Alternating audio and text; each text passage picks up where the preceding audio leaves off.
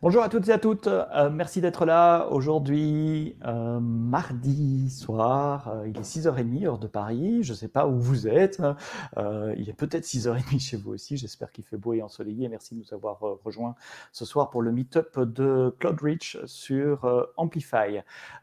ceux qui sont en ligne là savent qu'il y a eu un petit souci technique, le lien qui était posté initialement, on n'a pas réussi à s'y connecter avec, le stream, donc ce stream est sur une deuxième euh, vidéo ici. Si vous avez des copains, des copines qui sont euh, sur euh, l'autre lien, n'hésitez pas à leur dire de, bouger. On continue de, poster le, nouveau lien vers la nouvelle stream tout au long de, l'événement. Et voilà, j'espère qu'il y, a encore quelques personnes qui sont sur, sur l'ancien lien j'espère qu'ils vont euh, changer euh, très rapidement. au menu de ce soir, nous allons parler de AWS Amplify. J'ai le, plaisir d'être avec Jules et Sébastien. Donc, vous avez deux Sébastien pour le prix d'un ce soir pour vous parler de d'Amplify. Moi, je vais faire une petite introduction d'une vingtaine de minutes sur le framework open source Amplify. Et puis, euh, ceux qui vont vraiment vous le montrer, c'est Jules et, Sébastien. N'hésitez pas euh, de nous euh, laisser vos commentaires dans le chat. je peux vous dire hello là. si vous avez des questions aussi, n'hésitez pas à y répondre. On, répondra au, fur et à mesure euh, que je vois vos commentaires. Euh, avant de commencer avec les presses, peut-être un petit bonjour avec, euh, avec Jules et Sébastien, puisque vous êtes là aussi. Eh ben, bonjour à tous. Merci d'être présent pour ce meet-up Claude Rich slash AWS pour Amplify. Bien, alors Amplify, euh, c'est quoi c'est une vaste question. Euh, Amplify, c'est un framework, c'est un outil en ligne de commande également. Je vais essayer de, répondre à, ces questions dans les euh, prochaines 20 minutes vous êtes développeur, vous êtes développeuse, vous êtes DevOps, vous êtes architecte et vous avez déjà vécu ça un jour dans, votre vie. Vous avez euh, votre project manager qui vient vous frapper sur l'épaule et qui dit euh, Dites, euh, ça serait bien de rajouter telle et telle fonctionnalité dans l'application, voire de créer une nouvelle application parce que nos concurrents font la même chose et il faut commencer vite, j'ai aucun budget, ça doit être disponible dans deux semaines. Et by the way, si jamais euh, on a un million d'utilisateurs dans, trois, semaines ou dans un mois, euh, je n'ai pas envie d'investir euh, beaucoup sur quelque chose qui est compliqué à, manager ou à, opérer. Donc vous êtes tout seul, allez-y, débrouillez-vous. Et en général, c'est là que vous avez envie soit de vous pendre, soit d'aller prendre des cocktails, dans, aller vendre des cocktails sur une plage et changer de vie. Avec le cloud, vous pouvez dire, OK, d'accord, je vais essayer, je, vais utiliser un, un, un back-end cloud serverless et ça devrait répondre à la plupart des, problèmes euh, qui sont euh, les vôtres à, ce moment-là. Serverless, ça veut dire quoi? Alors évidemment, serverless, ça ne veut pas dire qu'il n'y a pas de serveur. Serverless, ça veut dire que ce n'est pas vous qui gérez les serveurs, c'est quelqu'un d'autre qui gère les serveurs. Donc il n'y a pas de serveur à provisionner ou à gérer. Euh, les serveurs vont scaler automatiquement. Donc si vous écrivez votre code une fois, votre code fonctionnera pour un million d'utilisateurs ou pour un utilisateur par jour il y a les, services serverless en général ont une couche de, résilience aux pannes, de haute disponibilité qui est intégrée, qui est conçue. Le, service est conçu pour résister à cela, et donc vous n'avez pas à vous en soucier non plus. Et puis la meilleure partie, c'est que vous allez payer à l'usage uniquement, c'est-à-dire uniquement pour euh, ce que vous allez en faire. C'est-à-dire que si vous ne l'utilisez pas, vous ne payez pas. Vous allez me dire, oui, mais c'est la même chose avec les virtual machines. Si je n'utilise pas, je ne paye pas. Pas tout à fait, parce qu'une une virtual machine, vous payez à partir du moment où la virtual machine est démarrée. Euh, et donc, même si vous avez zéro utilisateur qui utilise votre application, le simple fait de démarrer la virtual machine, vous allez la payer. Tandis qu'avec les vrais services serverless, si vous ne l'utilisez pas, vous ne payez pas. Point. C'est euh, aussi simple euh, que, que, ça. Donc ça, ce sont les quatre caractéristiques de serverless. Et d'habitude, en serverless, on parle évidemment euh, Lambda euh, sur AWS ou euh, Google Cloud Function ou des choses comme ça, parce que c'est là que le serverless est né, c'est dans les fonctions, dans le code que vous pouvez déployer sans serveur. Mais le serverless, c'est pas que le compute, c'est pas que tourner du code. Euh, ça peut être des API en serverless euh, avec des API euh, REST ou GraphQL. Ça peut être vos outils de développeurs comme les outils de build. Pensez à le temps que vous passez à, gérer Jenkins par exemple, à updater des Linux ou des Windows, à, manager tous les, plugins et, à faire des mises à jour de Jenkins, c'est du temps que vous passez pas à écrire du code, à faire quelque chose qui est différenciant pour votre société, pour vos clients, pour votre application. Et même les bases de données, ça peut être serverless. des bases de données serverless, c'est Aurora sur AWS par exemple, où il n'y a pas de serveur à gérer. Euh, le fait que Lambda coûte 0,6 dollars million sur le site français alors qu'elle coûte 0,2 sur les autres versions, est-ce que c'est une erreur ou une fuite montrant que Lambda va tripler de prix prochainement? Euh, Merci Mohamed, c'est une erreur, euh, on l'a reporté déjà. Lambda est bien à 0,2 centimes de dollars par million d'appels et le premier million d'appels tous les mois, c'est gratuit, c'est cadeau, c'est pour nous. Donc vous pouvez développer du Lambda gratuitement. Pouvez-vous parler de la différence entre serverless et Docker? Oui, avec Docker, vous avez quand même un petit bout d'operating system à maintenir. L'image Docker, euh, vous devez la maintenir, la mettre à jour, mettre des patchs dessus, etc. Tandis qu'en serverless, il n'y a même pas cette petite partie euh, d'operating system à maintenir. Avec euh, Lambda, par exemple, euh, avec, Lambda, par exemple, vous déployez votre code, Node.js, Python, Java euh, ou autre, et automatiquement, euh, votre code va, fonctionner, quel que soit le système d'exploitation en dessous. Vous n'avez pas à gérer le système d'exploitation en dessous. Alors, si vous voulez faire du serverless, quels sont les obstacles que vous avez, en particulier sur AWS euh, Puisqu'on parle AWS Amplify ici, vous démarrez la console à AWS et vous vous retrouvez devant plus de 180 services euh, et vous grattez la tête en disant Oula, où est-ce que je commence? C'est lequel qui est le bon pour moi? Euh, Où est-ce que je vais aller? Comment je vais les configurer? Comment je peux m'assurer d'utiliser la bonne combinaison de services? Parce que parfois, il y en a qui overlappent un peu. Bah, forcément, il y a 14 ans d'historique, donc parfois, il y, a, des choses qui sont un peu similaires. Et un des feedbacks très fréquents qu'on reçoit, c'est que c'est pas toujours facile de démarrer euh, avec, avec AWS. Il y a aussi beaucoup de code à écrire. Si vous utilisez ces services, vous téléchargez des SDK. Les SDK sont très bas niveau et donc il faut une bonne compréhension des API de ces services puisque le, SDK est vraiment au niveau des, euh, des, API. donc il y a pas mal de code à écrire, du code que j'appelle le plomberie, vous savez, pour faire la glue entre tous ces euh, différents éléments. Et donc vous devez quand même écrire pas mal de code pour démarrer. Et donc, c'est ici que rentre en scène Amplify.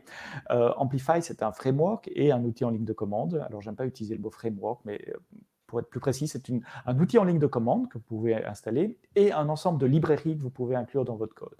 Avec l'outil en ligne de commande, vous allez provisionner euh, les services en back-end. Donc, sans rien connaître à la console AWS, sans même vous connecter à la console AWS, vous pouvez provisionner une API avec des fonctions lambda. Vous pouvez euh, provisionner une base de données avec une API GraphQL ou, de l'authentification utilisateur. Euh, ça, c'est pour la partie provisionnement, management de, ces services. Sans connaître ces services, Amplify va préconfigurer ces services d'une manière qui a du sens pour 80-90% euh, des, utilisateurs. C'est ce qu'on appelle un framework opinionated. Donc, il a une opinion, il vous emmène avec lui dans une certaine direction euh, en vous prémâchant le travail, en, préconfigurant toute une série de choses qui ont du sens, de nouveau, pour la plupart des, utilisateurs et en vous laissant une assez grande liberté quand même pour pouvoir changer cette configuration. Si ce n'est pas exactement ce dont vous aviez besoin, vous avez quand même des, moyens, de, des routes de secours, des, chemins de, traverse que vous pouvez prendre tout en utilisant euh, Amplify. Donc ça, c'est la ligne de commande.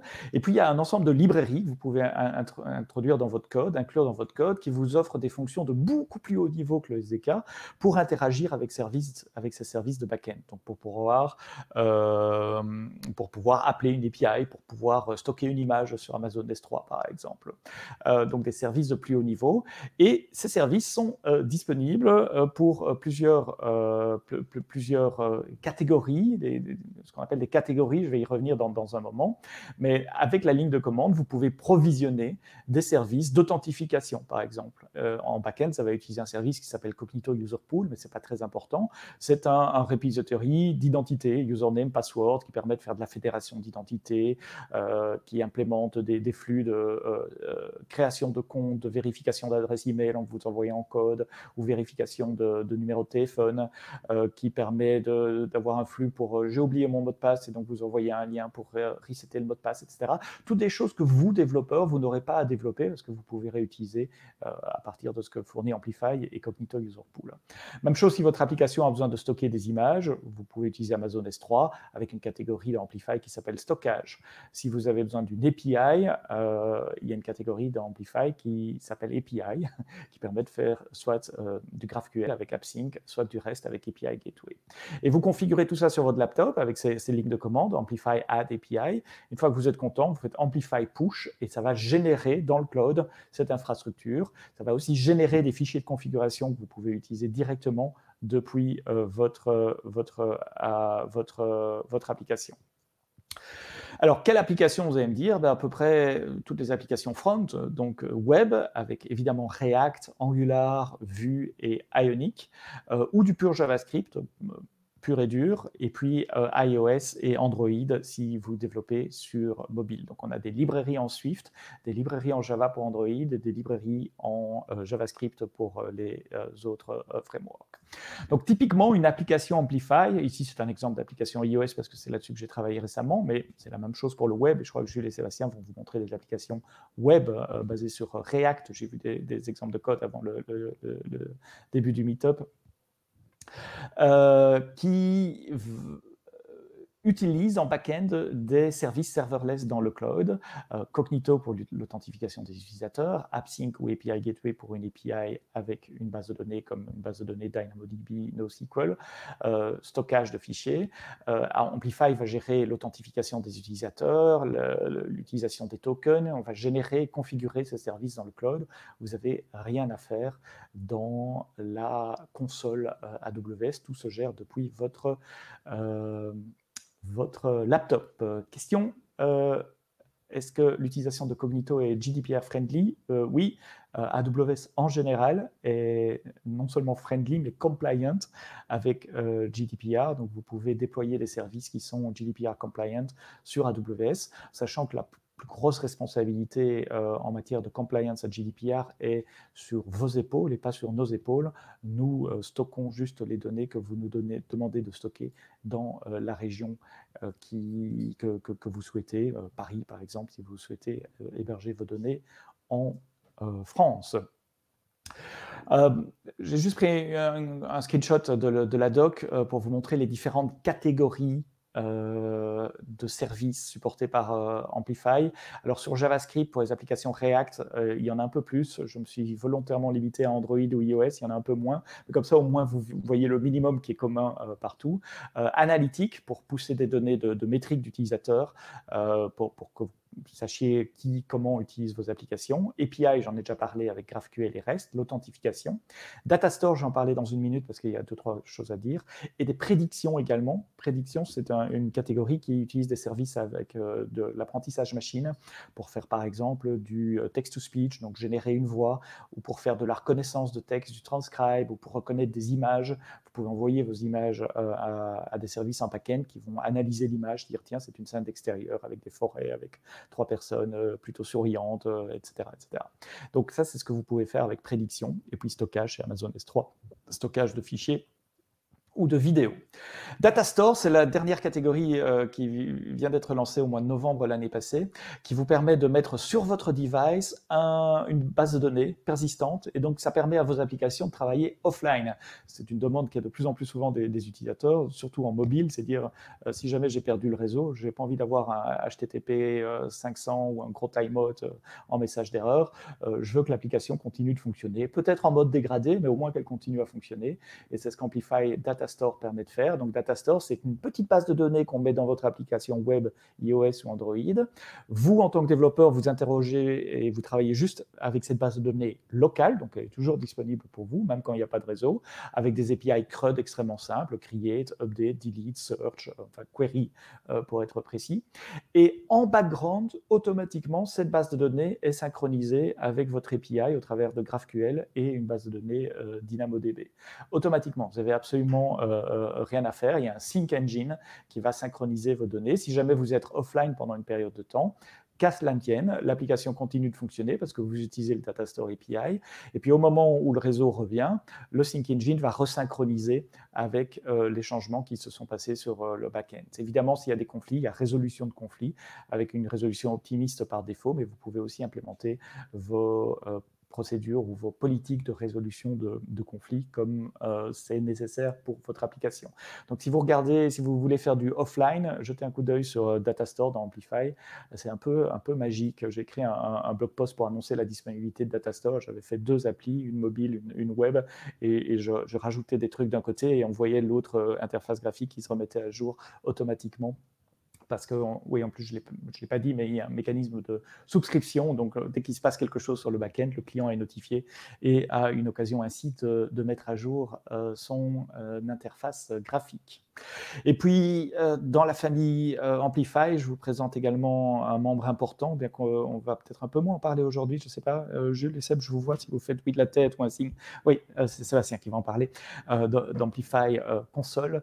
Amplify Console, c'est un, outil de CI/CD qui se connecte à vos, à vos repositories de code source et qui va builder automatiquement votre application. Alors là, évidemment, on ne parle plus d'iOS ou, ou d'Android, on parle d'application web, mais builder votre application et hoster votre application Donc, on va mettre en place une infrastructure euh, avec un, un, CloudFront, donc avec un, Content Delivery Network, pour automatiquement builder, déployer, euh, tester votre application et tout ça s'intègre avec Git et GitHub en particulier. Si vous voulez en savoir plus, je vous ai écrit un workshop plutôt pour les développeurs iOS pour le moment, amplifyiosworkshop.goaws.com avec plein de tirets euh, là-dedans. Euh, il y a des instructions euh, étape par étape pour créer cette application que vous voyez là avec ce backend-là. si vous avez un, un Mac, il faut Xcode, évidemment allez jeter un coup d'œil à ce workshop. Voilà, construisez, c'est à vous de builder des choses euh, là-dessus. J'espère vous avoir inspiré, donné envie en tout cas de commencer à regarder, euh, à regarder euh, Amplify. si vous avez des questions, allez-y, je vous répondrai pendant que Jules et Sébastien parlent, je vous répondrai par, par, par écrit évidemment. Et la deuxième partie de ce Meetup. Euh, c'est Jules, non? C'est bien ça. Eh c'est à toi. Eh bien, euh, je balance ton écran. Yes. Hop. Et là, on a Visual Studio Code. Yes. Alors, IntelliJ, PyCharm pour être exact. Donc, bah, bonsoir à toutes et à tous. Euh, donc, pour ma part, pour les 45 prochaines minutes, on va être ensemble et le but, ça va être de finalement mettre en œuvre tout ce que Sébastien vient de dire. On va créer une application from scratch React, une appli web. On va intégrer des catégories, donc l'authentification avec Cognito. On va intégrer une API avec App5 et Datastore. Donc on verra le fameux jeu du offline, du, de la synchronisation. Donc ça, ça va être vu avec moi. Et enfin, on finira avec du storage. On va pouvoir mettre du contenu photo. Et enfin, on verra le hosting hein, classique, héberger mon application sur Internet. Donc, eh ben, c'est parti. je vous propose de commencer tout de suite. Donc, je ne vais pas tricher, on va vraiment créer ensemble, depuis, depuis rien du tout, une appli React. Donc, classique pour ceux qui connaissent React, on vient créer le Hello World React c'est parti. Donc en attendant que mon, que mon appli Hello World React se construise, plusieurs choses à dire. Donc ce n'est pas un, meetup JavaScript ou React, donc je vais passer assez rapidement sur ces parties-là. je vais vraiment insister sur la partie Amplify. Le but est vraiment de montrer la simplicité d'utilisation et tout le, tout le pouvoir qu'Amplify apporte le fait de pouvoir se baser nativement sur des services managés serverless et de montrer à quel point il est simple de construire une application avec ça petite parenthèse, en second point, je suis déjà complètement configuré. J'ai bien les bonnes clés installées, la clé Amplify, la clé NPM, la clé Yarn, et j'ai un profil AWS admin que je vais utiliser pour des raisons de simplicité. Voilà, c'est à peu près tout. Mais sinon, je démarre from scratch comme vous pourriez le faire. pour parler de l'application rapidement, ça va être une application ultra simple dans l'esprit de Le Donc, qu'est-ce que ça veut dire? C'est-à-dire je vais pouvoir ajouter des objets à la vente. je vends ma paire de chaussures, je vends mon vélo, et on va pouvoir voir en temps réel tous les objets en vente. Donc, c'est une appli un peu bateau, je vous l'accorde, mais vraiment le but c'est, de montrer Amplify. Donc ça ne serait plus mon pour ma petite appli. Voilà, c'est parfait. Donc je vais pouvoir lancer en background l'application. Donc c'est une appli hop, si je commence à faire des bêtises. Hop. Petite. OK, donc je vais juste lancer l'application, ouais, que l'application s'est bien créée ici. Je vais juste lancer l'application en background, pour qu'on puisse checker au fur et à mesure, les, les changements. Alors dites-moi si vous voyez pas très bien, donc il y a pas grand chose à voir côté app heu, enfin, si vous voyez pas très bien mon écran, j'essaierai de zoomer. OK, donc ça se lance. Et on pourra ensuite commencer à mettre les mains dedans. Voilà. Donc on a bien une application Amplify, hein, je ne triche pas, heu, une application React, heu, vraiment ultra simple, un hello world. Et donc on va commencer. Donc on va se positionner dans le repo et la première chose à faire, c'est de configurer Amplify. Donc pour ça, comme Sébastien l'a dit, Amplify, c'est à la fois, heu, un jeu de librairie, un SDK, mais également une CLI, donc on va utiliser, heu, qu'on va énormément utiliser pendant, heu, ces 45 prochaines minutes. Et donc la première commande à lancer, c'est le Amplify init. Donc Amplify init, ça va me créer, bah, voilà, mon environnement Amplify dans mon application. Donc là, quelques questions à répondre. Moi, je ne veux pas citer d'éditeur, donc je suis bien en JavaScript, je suis en React. Ça, c'est bon, ça, c'est bon, ça, c'est bon. Ça, c'est bon. Donc vous voyez, là, il va me créer tout ce qui est nécessaire pour, heu, utiliser Amplify dans mon application. Donc j'utilise effectivement profil Meetup, hein, qui est derrière un profil admin. J'aurais pu configurer un profil, heu, plus restrictif comme, heu, comme le veut les bons les bonnes pratiques de sécurité, mais bon, je me suis mis en profil admin pour faire simple. Donc là, mon, heu, back-end va être instancié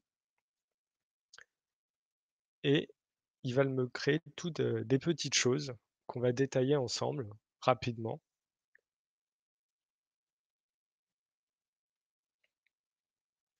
Donc en attendant qu'il crée tout ça, je vous propose de rajouter, directement dans mon application les bonnes librairies. Donc la librairie principale à ajouter c'est AWS Amplify. C'est, grosso modo la librairie que je vais pouvoir utiliser dans mon code JavaScript majoritairement. Il y en aura d'autres, on les verra, mais c'est vraiment la grosse application la grosse, librairie utilisée.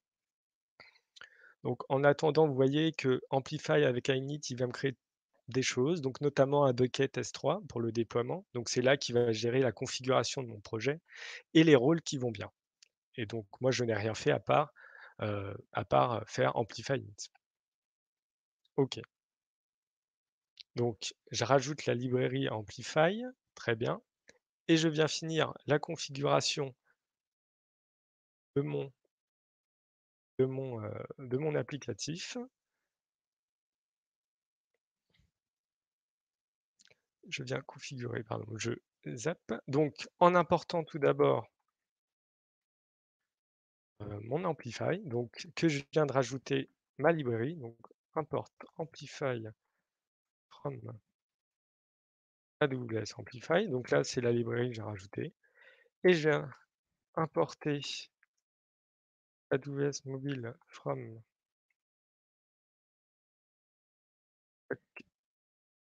AWS export. Donc je viens je vais je vais vous expliquer ensuite, heu, les 2 fichiers que m'ont créé Amplify, mais ça sera beaucoup plus parlant par la suite. Et donc je viens finir la configuration de mon back-end en faisant configure AWS mobile. Hop. Euh, Jules, je t'interromps un tout petit peu. Est-ce que tu Oui. peux zoomer encore le, le code dans, dans l'éditeur pour Yes. qu'on puisse mieux voir ça Voilà, ça c'est parfait. Merci.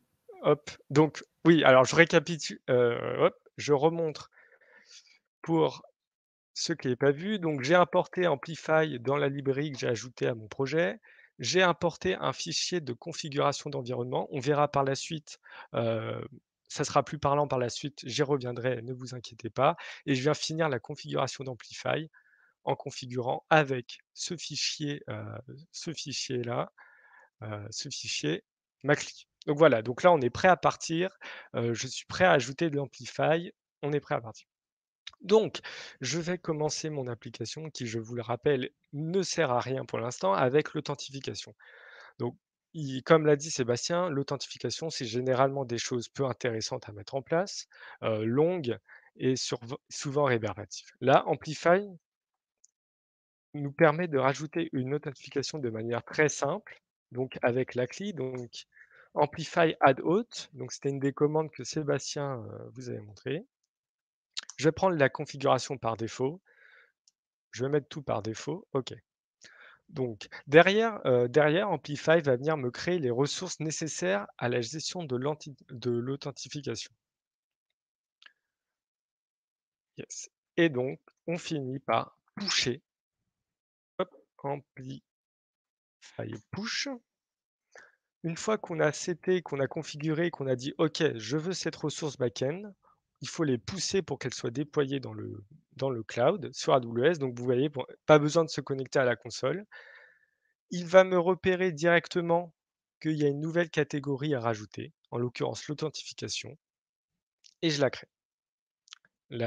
Donc ça va prendre quelques minutes à être poussé. Donc en attendant, on va on va, commencer le code et on va essayer d'intégrer, l'authentification de notre application. Je vais commencer par ajouter 2 petites librairies qui me seront utiles. Donc la première librairie qui me sera utile, ça va être AWS Amplify UI React. Comme son nom l'indique, UI React va me fournir des composants React Amplify déjà écrits et notamment deux, deux composants React qui vont me permettre de gérer le workflow d'authentification directement dans mon application de manière ultra simple. Et Material UI, parce que je ne vais pas faire du CSS et du design en live, parce que ça serait vraiment horrible pour vous et pour moi. Donc je vais utiliser le matériel UI. À noter que l'application, je vous le cache pas, sera pas très jolie quand même, ce qui est important, c'est Amplify et c'est le fonctionnel. Donc je rajoute ces 2 petites ces 2, heu, ces 2 librairies. En attendant, mon authentification est toujours poussée, mes ressources cloud, on je vous montrerai une fois que tout ça. Donc, je vous propose de commencer par créer, heu, le premier composant de notre, superbe future application et ce composant va être ce que j'ai appelé moi une toolbar, une profile toolbar, mais c'est grosso modo le bandeau d'authentification qu'on verra, classiquement en haut de toutes les applications, ce fameux bandeau avec le nom d'utilisateur et la photo qu'on a. Donc nous, on va juste afficher le mail avec lequel on s'est, connecté. Alors je vais dans ce composant copier-coller, le code JS, donc que j'ai déjà écrit. Vous inquiétez pas, c'est pas très compliqué. Donc là, grosso modo, vous voyez, j'ai mis, heu, 14 lignes de code et c'est du JavaScript. C'est juste pour aller plus vite. C'est, j'importe toolbar et appbar depuis Material UI pour avoir directement le bandeau graphique, rien de plus et j'affiche, le nom d'utilisateur, qui est arrivé en props ici, en haut de mon application. Donc c'est que du JavaScript, c'est que du React, il y a pas d'Amplify là-dedans. Donc c'est un composant que je vais utiliser Heu, par la suite. Donc OK. Heu, mon back-end est toujours en train d'être poussé, très bien. Ça prend un peu plus de temps que d'habitude. Côté application, eh bien, je vais appeler ce bandeau. Hop, je vais réduire un peu. Hop, donc j'ai mon application ici. Hop, on va venir supprimer tout ça, on n'en a plus besoin et on va venir ajouter le composant qu'on vient de vient de créer. Faire les bons apports qui vont bien et qu'est-ce que je fais? Donc, mon application maintenant, elle fait quoi? Elle vient instancier un utilisateur, undefined, donc dans le state. Elle vient venir, heu, récupérer la valeur de mon, utilisateur connecté. Pour l'instant, vous voyez, ça ne fait rien, on va le faire ensemble.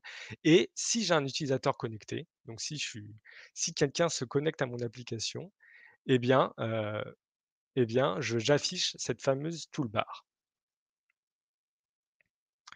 Euh, yes. Et là, export tes fautes. Ok, donc là, vous voyez, il ne se passe rien. Et en attendant, euh, les, ressources back-end ont été publiées. Donc, ça va me permettre de vous montrer tout d'abord les fichiers d'init dont je vous ai parlé tout à l'heure. Donc, Amplify, quand on vient faire Amplify init, vient nous créer deux choses majoritairement dans notre application. Donc, j'espère que vous voyez là. Il vient créer tout d'abord un dossier Amplify.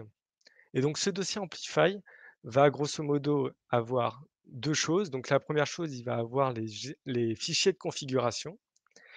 Et surtout, il va créer ici un sous-dossier backend dans lequel il va contenir toutes les catégories que j'ai déployées au cours de mon application. Là, en l'occurrence, j'ai déployé une authentification. Il m'a créé un sous-dossier hôte dans lequel, grosso modo, il y a le template CloudFormation utilisé euh, par Amplify pour déployer les ressources. Très bien. Si je regarde ici dans ma console, dans Cognito, un user pool, on voit bien qu'Amplify m'a créé, sans même que j'y rentre pas avant, un user pool, qui est d'ailleurs pour l'instant vide. Très bien. Donc Amplify m'a créé, euh, va gérer mes ressources euh, back-end, finalement mes ressources cloud ici à partir de ce fichier. Et une fois mes ressources sont créées, on récupère l'ID, on récupère toutes les informations nécessaires à, euh, pour pouvoir les interroger, pour pouvoir les, les, les requêter. Et donc ça, ça se trouve dans le fameux fichier ici, avec lequel j'ai configuré Amplify. Vous vous rappelez, j'ai fait Amplify configure AWS mobile. Et en fait, ce fichier, vous voyez, avant, il n'y avait rien. Et maintenant, il a été updaté automatiquement par Amplify avec le user pool ID, le client ID, etc. Et toutes ces informations vont être, utilisées euh, voilà, sans que, sans que je vont être utilisées euh, directement par Amplify grâce à la configuration. Et donc, à chaque fois que je vais rajouter un backend, une API, euh, un storage, etc., ce fichier va être updaté et ainsi ma librairie Amplify sera toujours à jour et sera toujours quelle ressource directement attaquée, si je puis dire. Donc très bien, j'ai mon, mon user j'ai mon cognito, j'ai quasiment fini, j'ai ce que je voulais faire. Donc, on va commencer par wrapper mon application. Authenticator.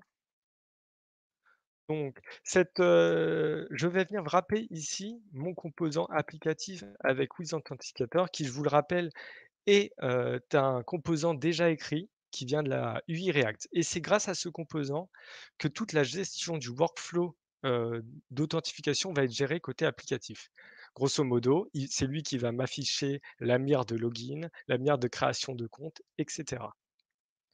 Très bien. Je vais maintenant utiliser...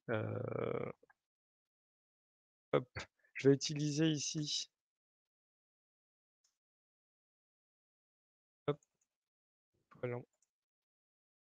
Je vais venir utiliser ici hôte donc de la catégorie mon, de ma librairie AWS Amplify pour récupérer mon utilisateur courant et venir récupérer les informations nécessaires et je vais le mettre dans ma variable de state current user. Et ainsi, mon workflow va être complet. Donc maintenant, si ça a bien recompilé,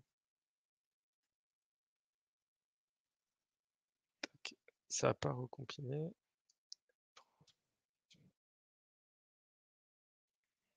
Normalement, si tout s'est bien passé,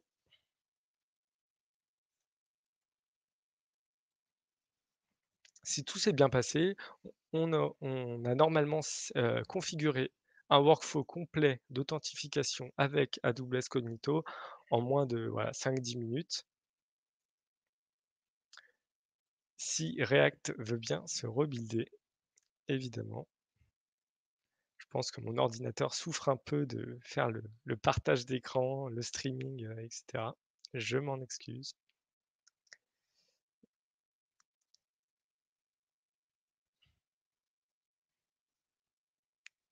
Ok. L'ordinateur a l'air de souffrir un peu.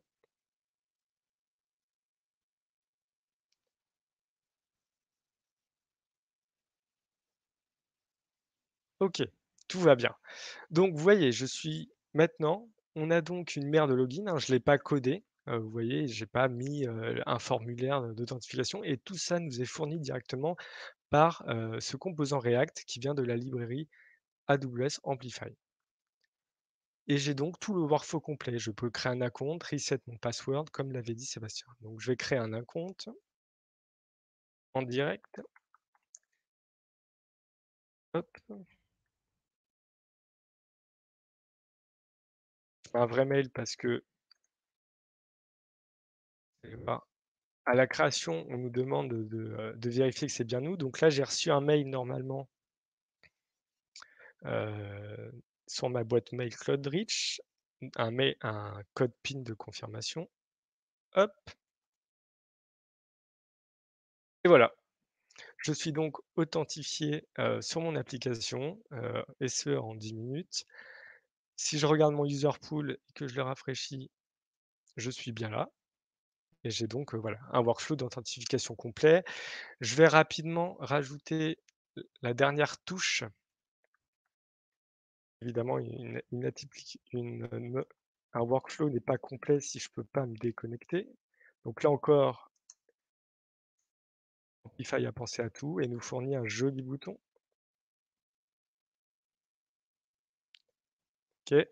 Un joli bouton, c'est assez ironique, mais un bouton, voilà, qui me permet de me déconnecter. J'ai donc un workflow complet de création de compte, d'authentification et de déconnexion. Voilà, donc bah, c'est c'est pas mal, mais bon, l'appli comme vous voyez, elle ne fait rien, c'est une page blanche. On va donc rajouter un peu de fonctionnel. Donc on va rajouter notre API. Donc là, comme vous l'avez pu comme j'ai pu le faire auparavant, Amplify add API. Un mode REST, un mode graph graph GraphQL. Nous, on va utiliser le mode GraphQL avec app5, meetup, très bien. Je vais mettre API key par défaut, peu importe. Et là, je vais faire une extra configuration, hein. Je vais rajouter directement le data store. Donc ça vient sous cette option qui est peu parlante, mais en configurant les conflits de détection, je vais pouvoir avoir accès au data store. OK et je vais faire un auto merge, heu, chose par défaut. Je n'ai pas de schéma GraphQL, je veux bien que vous m'aidiez. Ça, pas besoin. Voilà, donc là j'ai demandé, heu, une API GraphQL backée par un data store, heu, côté client, pour faciliter la gestion de l'offline notamment. Très bien, je vais venir comme tout à l'heure, il m'a configuré ici un nouveau sous-dossier API avec un schéma GraphQL. OK, je vais zoomer un peu. Donc j'ai pris un schéma ultra simple, c'est un schéma plat, heu, il y a pas de relationnel, mais c'est possible de le faire avec GraphQL, qui nous dit qu'on va on va avoir un ID auto auto-généré par Amplify, un user mail, un titre, une description, un prix et un petit timestamp. Voilà, c'est tout et là je vais pouvoir OK, je suis satisfait, j'ai mon API, je vais pouvoir pusher tout ça. Si tout va bien, Amplify va détecter que j'ai demandé une API, mais elle est toujours pas dans le cloud. Il me dit: «OK, tr très bien, je dois créer une API». Parfait. OK, tu peux me créer tout ce que tu veux. Donc là, c'est pour me créer les mutations, tout ça. Très bien. Là, heu, il y a donc une création. Il va me créer l'app5, hein, il va me créer avec le bon schéma, celui que je viens de configurer. Il va me créer une base il va me créer une ressource NoSQL, heu, DynamoDB pour stocker tous ces items et heu et voilà. Je vais en attendant, bah, m'avancer dans le code, hein, comme tout à l'heure. Je vais pouvoir commencer par faire une génération de modèles. Donc là, j'ai un modèle, GraphQL. Donc j'ai un modèle GraphQL ici, mais il est pas très palpable. Donc c'est pour ça que j'ai utilisé une commande amplify codegen models qui va me créer en fait, à partir de ce fichier GraphQL, il va me créer ici un sous-dossier. Je vais déplier. Un sous-dossier dans mes sources, un sous-dossier modèle. Et en fait, ce modèle a été donc généré par la, par la commande que je viens de vous montrer, hein, celle-ci.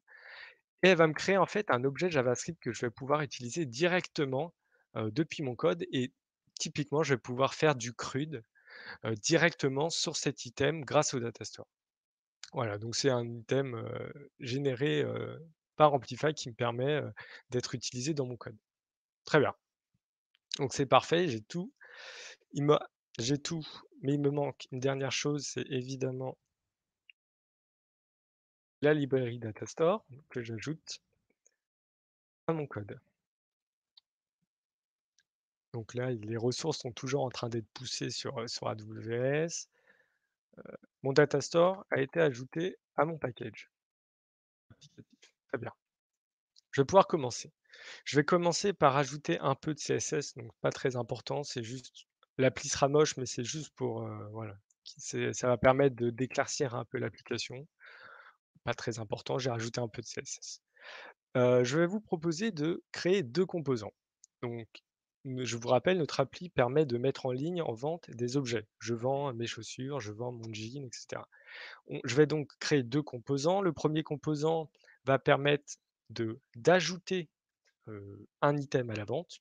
Ça va être grosso modo un formulaire. Et mon deuxième composant va me permettre de lister en temps réel tous les, composants, tous les items qui sont ajoutés à la vente. Très bien.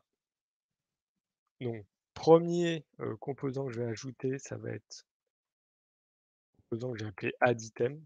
Ça va être grosso modo un formulaire. Tac. On zoome un peu. Ça va être un formulaire donc, qui s'appelle add item. Je récupère le user courant dans mes props. J'instancie un titre, une description, un prix. Je vous rappelle, c'est des champs que j'ai besoin pour mes items, pour mon item. Je viens venir ensuite récupérer ici, donc dans des text fields, hein, c'est grosso modo des, des, champs libres, hein, des champs texte, la valeur qui va être entrée dynamiquement par le par le par l'utilisateur. C'est un formulaire et donc comme tout formulaire qui se respecte, il y a à la fin un bouton qui permet de publier ce qu'on vient mettre dans le formulaire. Donc vous voyez, rien de compliqué, c'est du c'est du React JavaScript, même du web ultra classique. Et donc c'est à partir de là que je vais rajouter la, la glue, si je peux dire, Datastore. On va venir ajouter ici la bonne librairie, donc mon Datastore, qui se trouve ici, donc dans la librairie que j'ai ajoutée juste avant. Et grâce à ça, je vais pouvoir faire un datastore.save pour venir sauvegarder un nouvel item. Et c'est là que la chose qui est vraiment sympa, c'est que je vais pouvoir récupérer l'item. Vous vous rappelez, c'est l'item qui vient de mon modèle. Donc l'item que j'ai généré va pouvoir être utilisé directement depuis le Datastore. Et il va savoir lui-même où est-ce qu'il doit le sauvegarder, sur quelle table euh, DynamoDB, euh, euh, comment interroger la période pour ajouter ou récupérer ces items. Tout ça, c'est fait en background. C'est vraiment puissant et c'est vraiment très simple d'utilisation. Très bien, je vais rajouter un item avec le titre qui sera ajouté dans le formulaire, la description, le prix et l'email qui vient de current.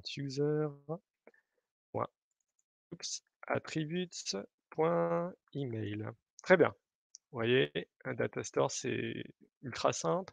Ça me permet de créer un item. Euh, voilà. Et tout ça va être synchronisé automatiquement dans le cloud, etc., sur DynamoDB. Enfin voilà. Mais d'un point de vue utilisateur, d'un point de vue développeur, je ne fais que save sur mon data store. Très bien. Notre premier composant est implémenté. Second composant dont je vous propose, c'est items.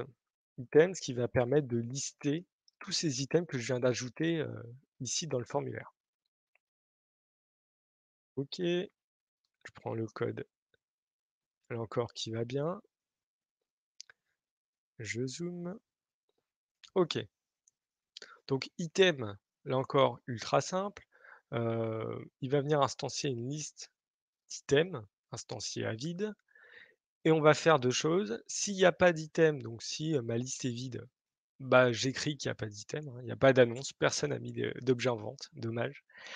En revanche, s'il y a des items, pour chacun des items, je vais venir afficher les informations. Donc, je vais venir mapper sur chacun des items pour récupérer son titre, son prix, qui l'a posté et quand. Voilà, tout simplement. Donc là, ultra simple encore une fois, j'ai rien fait de, spécial. Il manque, comme, comme pour add item, la glue AW, la glue Datastore, la glue Amplify. Et donc je vous propose de, je vous propose de, bah, de, commencer à mettre la glue tout de suite. Donc, avec une première méthode que j'ai appelée getItems, qui va me permettre de récupérer la liste d'items. Donc, elle va venir setter les items. Et qu'est-ce qu'elle va faire? Elle va venir récupérer dans le datastore directement ma liste d'items. Donc ça, c'est la syntaxe, la fameuse query. Donc ça permet, là en l'occurrence, ça permet de récupérer tous les items finalement tout le modèle de type item de mon datastore. Très bien. On va donc utiliser, maintenant qu'on a une jolie méthode pour récupérer tous les items, et c'est là vraiment la puissance du datastore. C'est là où il y a le, fameux offline, le temps réel, tout ça, tout ça. La beauté d'Amplify, c'est dans ces quelques lignes qui arrivent. Donc, je vais venir appeler ici dans un hook React useEffect pour pouvoir avoir une, une, un update en temps réel de mon component React, un classique de React, un useEffect. Je vais venir appeler ma méthode une première fois. Et ensuite, je vais venir créer une constante, une subscription, ici, qui va, qui va venir en fait utiliser une nouvelle méthode du datastore qui est observe. Et en fait, observe des items. Je vais venir subscribe à ça. Donc je vais, d'abord commencer à écrire la méthode et je vous l'expliquerai juste après. Et enfin, on retourne ici, sub. Subscription. Retourne de sub. Subscription. Unsub. Est-ce que tu me le trouves? Oui. Donc qu'est-ce que ça fait? Donc c'est là toute la puissance, toute la magie de Datastore se cache dans cette méthode. Datastore fournit une méthode qui s'appelle observe et comme son nom l'indique bien, on va venir observer, si je puis dire, un peu avec le pattern observable euh, qu'on connaît en, front, en web. On va venir regarder ce qui se passe sur les items et on va venir euh, se subscribe, on va venir s'abonner aux changements observer des, items. Grosso modo, à chaque fois qu'on ajoute ou supprime un item, on va recevoir ici un callback, on va recevoir ok, une, notification et on va savoir qu'il y a eu du changement dans la liste de mes objets ajoutés et je vais venir finalement rafraîchir ma liste en appelant la méthode ici qui, elle, va revenir afficher, récupérer la nouvelle liste des items. Donc c'est vraiment là où, où tout se joue dans Datastore, c'est grâce à cette petite méthode observe. Très bien, j'ai donc deux composants, super. On va venir les utiliser dans mon application. Ok, tac, tac, je fais les imports qui vont bien. Ça recompile.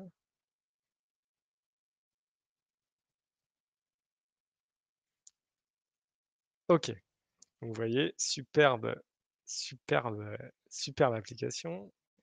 Comme plus. J'ai donc voilà mon formulaire hein, qui est mon add item ici, qui, permet d'ajouter un, item et mon, mon, second composant qui affiche bien que j'ai pas d'annonce parce que j'ai rien ajouté. Côté déploiement, où ça en est? OK, il me dit que le déploiement est fini, qu'il m'a bien déployé, un GraphQL et cetera. Si je regarde dans mon fichier export là, il m'a bien updaté, le endpoint GraphQL, l'API, l'API key et cetera. Tout va bien. On peut donc essayer notre superbe API. Donc là, je vais rajouter, je sais pas, vente de chaussures, 50 euros. Je vends mes chaussures, blablabla, et je publie. Donc vous voyez, j'ai cliqué et directement, ça c'est venu m'afficher sans que je rafraîchisse, la page, ce nouvel objet. OK. On vérifie bien que dans DynamoDB j'ai une table ici, tac, item, item, et j'ai donc bien mon item que je viens d'ajouter. J'ai donc vu là rapidement en temps réel un ajout.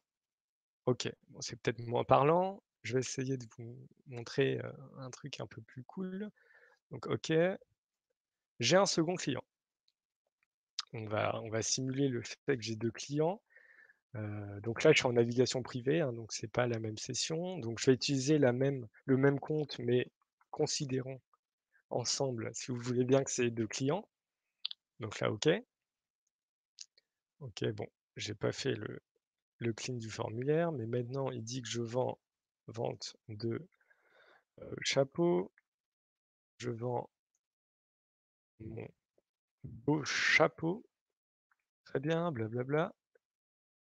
Et voilà. En temps réel, sans que je rafraîchisse cette page, j'ai ma liste d'items qui s'est rafraîchie. Super. Mais l'offline, le fameux offline teasé depuis le début. Donc là, je suis dans mon appli à droite. Donc mon, mon client à droite. Je vais faire un inspecter. Ça m'ouvre la console. Et donc je ne sais pas si vous voyez, mais ce qu'il faut juste voir, c'est que je passe en offline. Le client de droite est offline. OK. Très bien. Le client de droite est offline et lui, il est, bah voilà, il vient d'arriver dans le métro. Pour l'instant, on ne voit pas sur l'application qu'il est offline. hein. Très bien. Et lui, bah ok, il est dans le métro, il n'a pas de, réseau, mais il veut quand même ajouter, ajouter le fait qu'il vend sa voiture. Ok. Pour 10 000 euros, je vends ma Clio. C'est un peu cher, mais ok.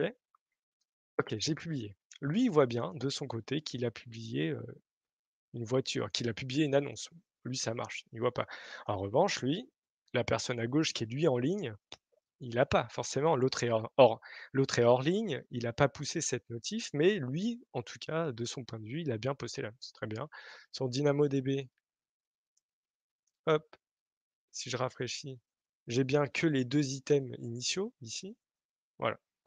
Donc c'est là où toute la magie se passe, et qu'en fait, bah, finalement, oui, d'un point de vue OK, c'est pas synchronisé sur le cloud, mais Datastore a bien pris en compte ce nouvel ajout. Mon application a pas pris en compte. Et donc, si je regarde là, dans Application, alors je sais pas si vous voyez. Dans Application, j'ai bien ici en fait le Datastore qui a été lancé. Côté, côté, côté client de droite, enfin côté client de gauche également, avec une base embarquée, une base côté client avec dans laquelle il voit bien sa vente de voiture ici. Et si on regarde la mutation event, event on, on voit bien qu'il y a toujours une mutation qui a besoin d'être faite, c'est la vente de la vente de voiture ici. Donc ok, donc c'est ça, donc c'est le data source, c'est cette BDD côté client qui permet de gérer l'offline. Ok, je repasse en online. GraphQL envoie directement la synchronisation et, automatiquement, c'est poussé ici dans le client qui est lui en ligne. Le client à droite n'y a vu que du feu, il est passé hors ligne, en ligne. Pour lui, ça n'a pas changé son expérience grâce au Data Store. Et côté développeur, vous avez vu que ça prend littéralement une ligne de code, hein, deux lignes de code, allez, pour faire toute cette mécanique. Et j'imagine pas comment j'aurais fait si je n'avais pas eu Amplify et Datastore. J'imagine que pour faire tout ça de manière aussi simple, en tout cas pour l'utilisateur, ça demande énormément de, de code.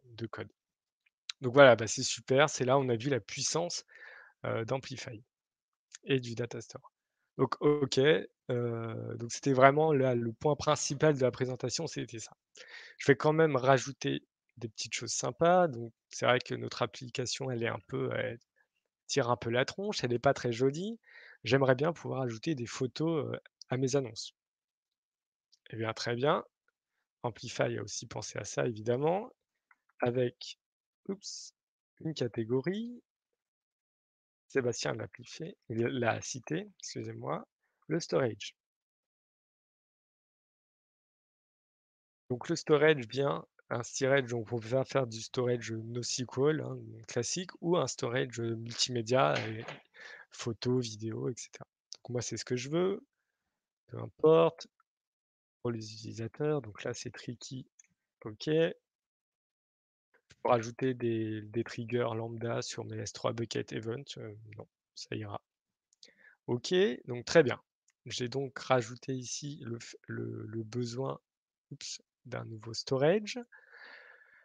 Mais avant, je vais venir modifier mon schéma, euh, mon modèle, en ajoutant que maintenant, mon modèle doit, enfin, peut avoir une string, une picture qui est le chemin vers une photo. Très bien. Je peux pousser. Normalement, si tout se passe bien, Amplify va me détecter deux modifications, la création de mon storage et la modification de mon API. Donc c'est ça, je dois updater l'API, puisque j'ai updaté le schéma, et je dois créer mon storage. OK. Et eh ben, c'est parti. Et donc c'est parti. Côté applicatif, en attendant, et eh ben là encore, je vais venir régénérer mon modèle. Euh, puisque maintenant j'ai une nouvelle propriété, euh, le picture.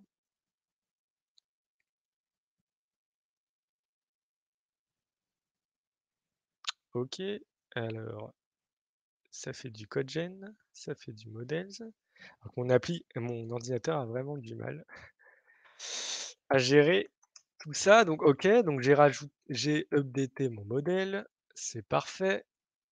Je vais venir ajouter une nouvelle librairie de composants React, une librairie qui fait le café, si on peut dire. Et donc c'est une, une librairie qui va avoir des composants React dédiés à Amplify et notamment, ceux qui vont nous intéresser, qui vont nous faciliter grandement l'interaction avec la récupération des fichiers sur S3. OK. Il y a toujours mes policies, mon bucket qui se crée en tâche de fond. OK, donc je vais pouvoir changer mes petits composants. Je veux maintenant que quand je ajoute un item, récupérer un fichier. Très bien. Je vais venir évidemment dans mon formulaire ajouter un petit champ. Tac. Donc ça va être un champ de type input qui va récupérer des fichiers et je vais venir à chaque fois que l'utilisateur va venir sélectionner un fichier en local, updater mon fichier ici. Très bien. Et à la sauvegarde, avant de sauvegarder, je vais dire que s'il y a un fichier, tu vas venir d'abord me sauvegarder. Donc on va utiliser pour ça storage. Euh, storage, ah, il n'a pas, il l'a pas récupéré. Il n'arrive pas à l'instancier. Storage ici. Un peu, le, ok, storage avec une jolie méthode put. Tu vas me ajouter un nouveau fichier avec, un avec le nom du fichier qui sera le même nom que le fichier en local. Et tu viens me plaider tout ça. Ok. Donc avant de sauvegarder, je vais venir d'abord sauvegarder une la photo de l'annonce s'il y en a une. Et donc je vais pouvoir updater mon modèle. OK. Si il y a un fichier, tu me mets en picture le nom. Sinon, tu me mets rien. Oh, c'est tout. Donc j'ai rajouté juste la gestion de ce fichier dans, mon application. Et évidemment, bah, côté, côté items, donc là où je vais venir afficher la liste d'items, j'ai envie de voir la photo quand même.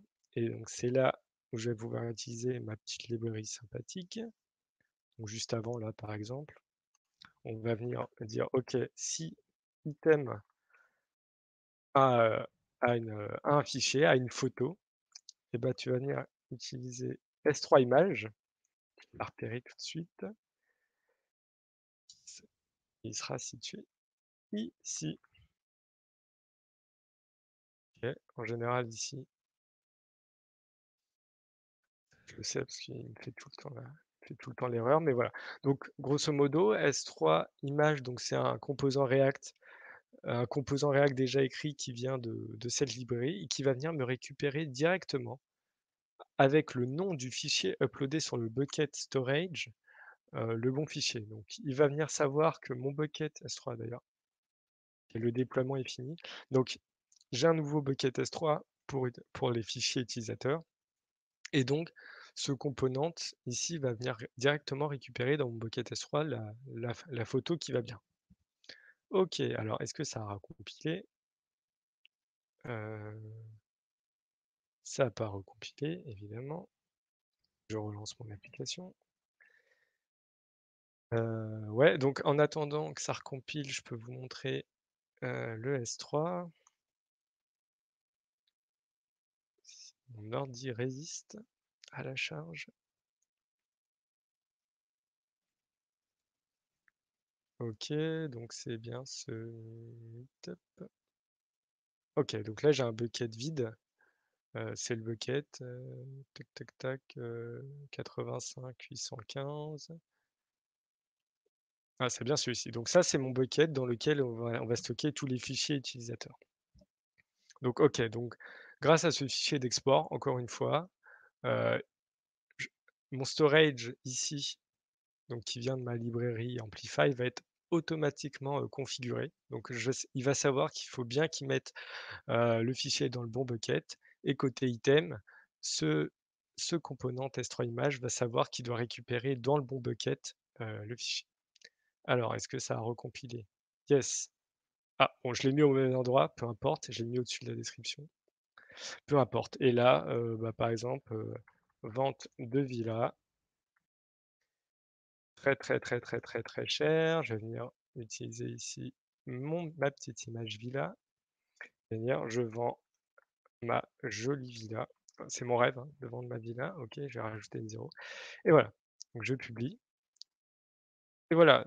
Donc ça m'a automatiquement, heu, uploadé, donc je ne mens pas. Si je rafraîchis ici hop, ça ça m'a uploadé, mon ma photo en local et mon component React est venu récupérer directement. Voilà, heu, bah, c'est vraiment pas mal. Heu, je finirai, alors je sais pas si j'aurai le temps, mais juste simplement pour ajouter donc là, on a une jolie application en local. Je vous propose de rajouter simplement l'hosting, hein, donc passer de mon de mon appli en local au à une appli, web, hein, accessible depuis, depuis l'internet. Là encore, il y a, tout ce qu'il faut, donc on peut juste en dev, mettre sur un bucket S3. OK. Et je vais pouvoir publier. Donc là, ça va prendre un peu de temps, voilà.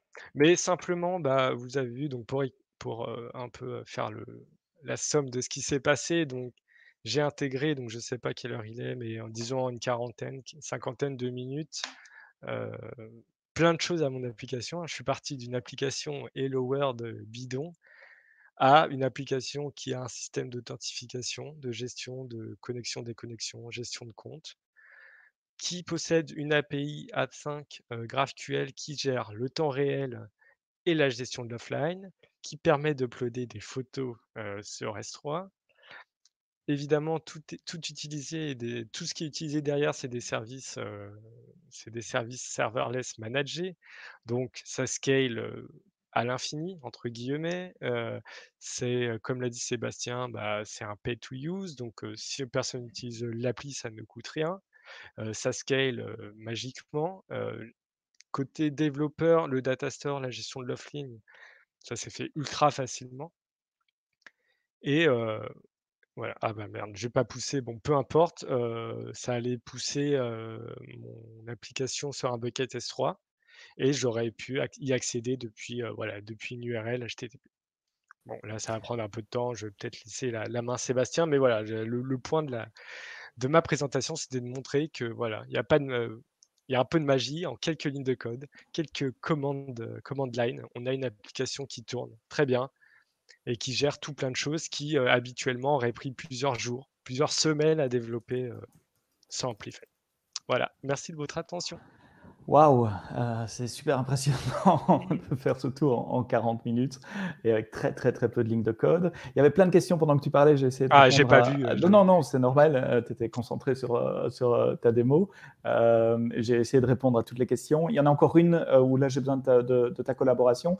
Quelqu'un qui demande si tu peux remontrer, c'est Bruno qui demande ça, si tu peux remontrer dans le code comment, à quel endroit tu fais la différence entre ce qui doit partir vers l'API et ce qui doit partir vers S3 ou, est-ce que tu dis que l'image ne part pas vers, S3 euh, alors, euh, ouais. Donc ça, après, c'est du code. Hein. Il y a peut-être des meilleures façons. C'est la façon que j'ai trouvée, mais euh, en fait, je viens, venir ici définir un fichier, donc un fichier undefined, hein, classiquement. Je vais venir récupérer avec un input ici en local le chemin du fichier de l'utilisateur qui veut pousser. Donc, forcément, le fichier ici n'est plus undefined. Donc, je vais zoomer un peu. Et donc, avant de sauvegarder mon modèle, je vais venir sauvegarder ici. Donc si, si l'utilisateur a choisi d'uploader un fichier, eh bien, je vais d'abord sauvegarder sur S3 mon fichier. Et mmh ainsi, mon, mon, item, il aura accès à ce fichier. finalement, en fait, ici, je sauvegarde le chemin, le nom du fichier sur le bucket S3. Mmh Et donc ensuite, après, grâce à ce joli composant S3 image de la librairie AWS Amplify React, oups, euh, il vient récupérer grâce au pass, donc finalement euh, la propriété picture de mon item, le bon fichier, la bonne image. Donc là, l'application web télécharge directement DS3 avec la, bonne URL également. Et quand je parlais de, catégorie au début, bah, c'est ce qu'on voit dans le code. Un data store, c'est une catégorie.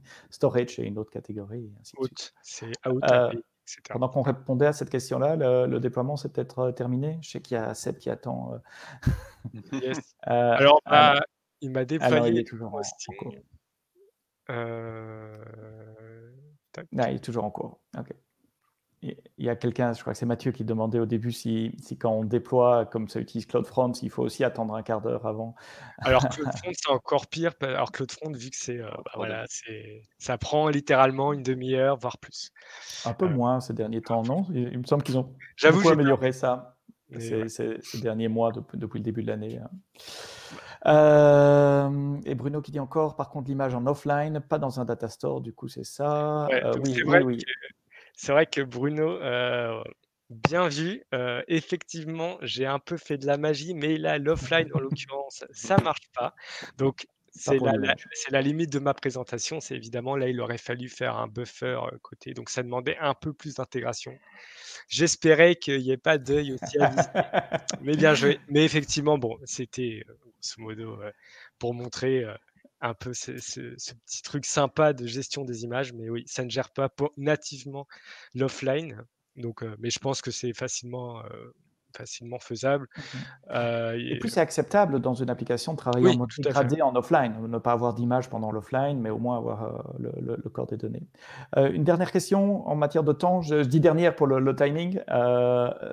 comment choisir le bon stockage? Bah, c'est relativement simple. Si c'est du contenu multimédia, ça va aller sur un bucket S3, donc ça va être un storage objet. Si, c'est, si on veut juste une base de données pour stocker des objets JSON, eh bien ça va être un NoSQL, DynamoDB classique. Voilà, et tout le monde te dit bravo pour le live coding, très impressionnant de faire ça en direct. la première fois. Merci beaucoup. bravo. On fait comme dans les vrais meet-up en physique, en présentiel. Hein. On applaudit à la fin. merci, vous, vous pouvez applaudir également. Euh, Seb, euh, de quoi tu vas nous parler? Bah, Du coup, à l'inverse de Jules qui vous a présenté un peu plus toute la comment setup là, avec une sacrée présentation d'ailleurs, comment setup le, tout un projet Amplify au niveau du code et installer les différents services, intégration avec les différents services du coup qui se font, euh, qui se font assez naturellement avec Amplify. Parce qu'Amplify, du coup, le framework, vous simplifiez, comme tu l'expliquais, vous déjà vous simplifiez énormément tout le setup, cette intégration.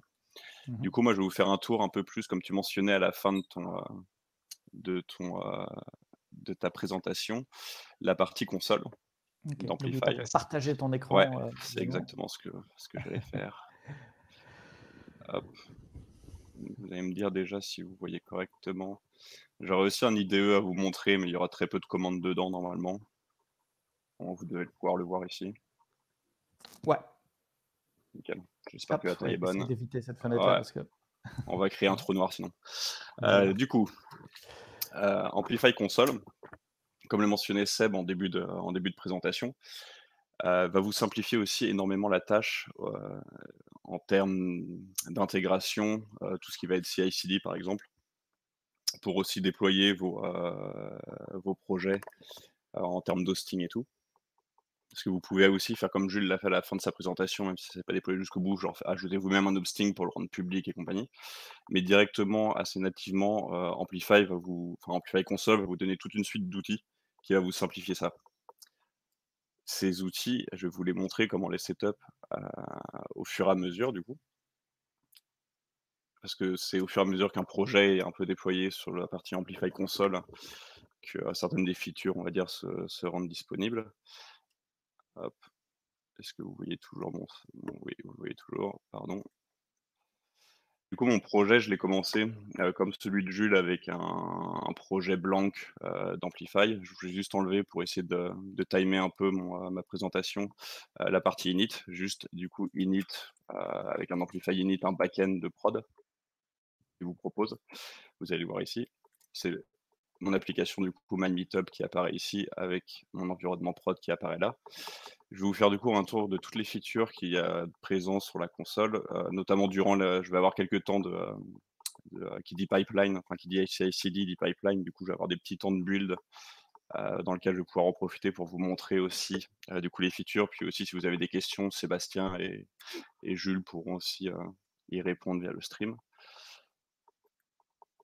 Du coup, on va commencer votre projet. Euh, typiquement, j'ai juste initialisé un backend ici que je vais déployer, qui est directement du coup plugué sur un repo, euh, un repo GitHub. Comme l'a mentionné euh, Sébastien en début de, en début de présentation, Amplify, il y a une bonne intégration avec quasiment la plupart des repositories, que vous allez pouvoir voir ici, mais notamment GitHub. Ils ont un peu plus d'outils et de features, de features sur, sur GitHub. Du coup, la console va pouvoir vous simplifier la vie à plusieurs niveaux par rapport à, un projet habituel dans lequel vous auriez besoin de setup euh, cette partie CI/CD. Parce que des outils comme Jenkins, GitLab, pour ceux qui l'utilisent et ceux qui ont setup des pipelines complètes, c'est pas exactement la même relation. Et ça peut vite devenir très complexe à mettre, euh, à mettre en œuvre une, une pipeline CI/CD complète avec les outils qui vont bien. Du coup, là, vous voyez, il y a mon projet, du coup, qui est un projet vide avec juste, du coup, mon backend qui est, qui est ici. Le premier step va être de ce qu'on appelle connecter votre, votre front-end, votre application, du coup, à votre backend.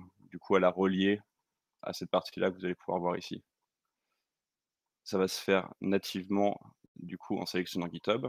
Ici, Amazon va vous détecter directement les repos que vous avez sur votre compte associé.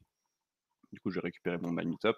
On va le brancher, on va sélectionner la branche qu'on va vouloir essayer de pick. Et après, normalement, ça va nous demander de sélectionner un backend. Vous voyez, là, ici, on a plusieurs options. Du coup, on peut sélectionner notre backend. Pour le moment, j'en ai créé qu'un seul que je ne vous ai pas montré, mais je vais en créer d'autres après. C'est pour aller plus vite.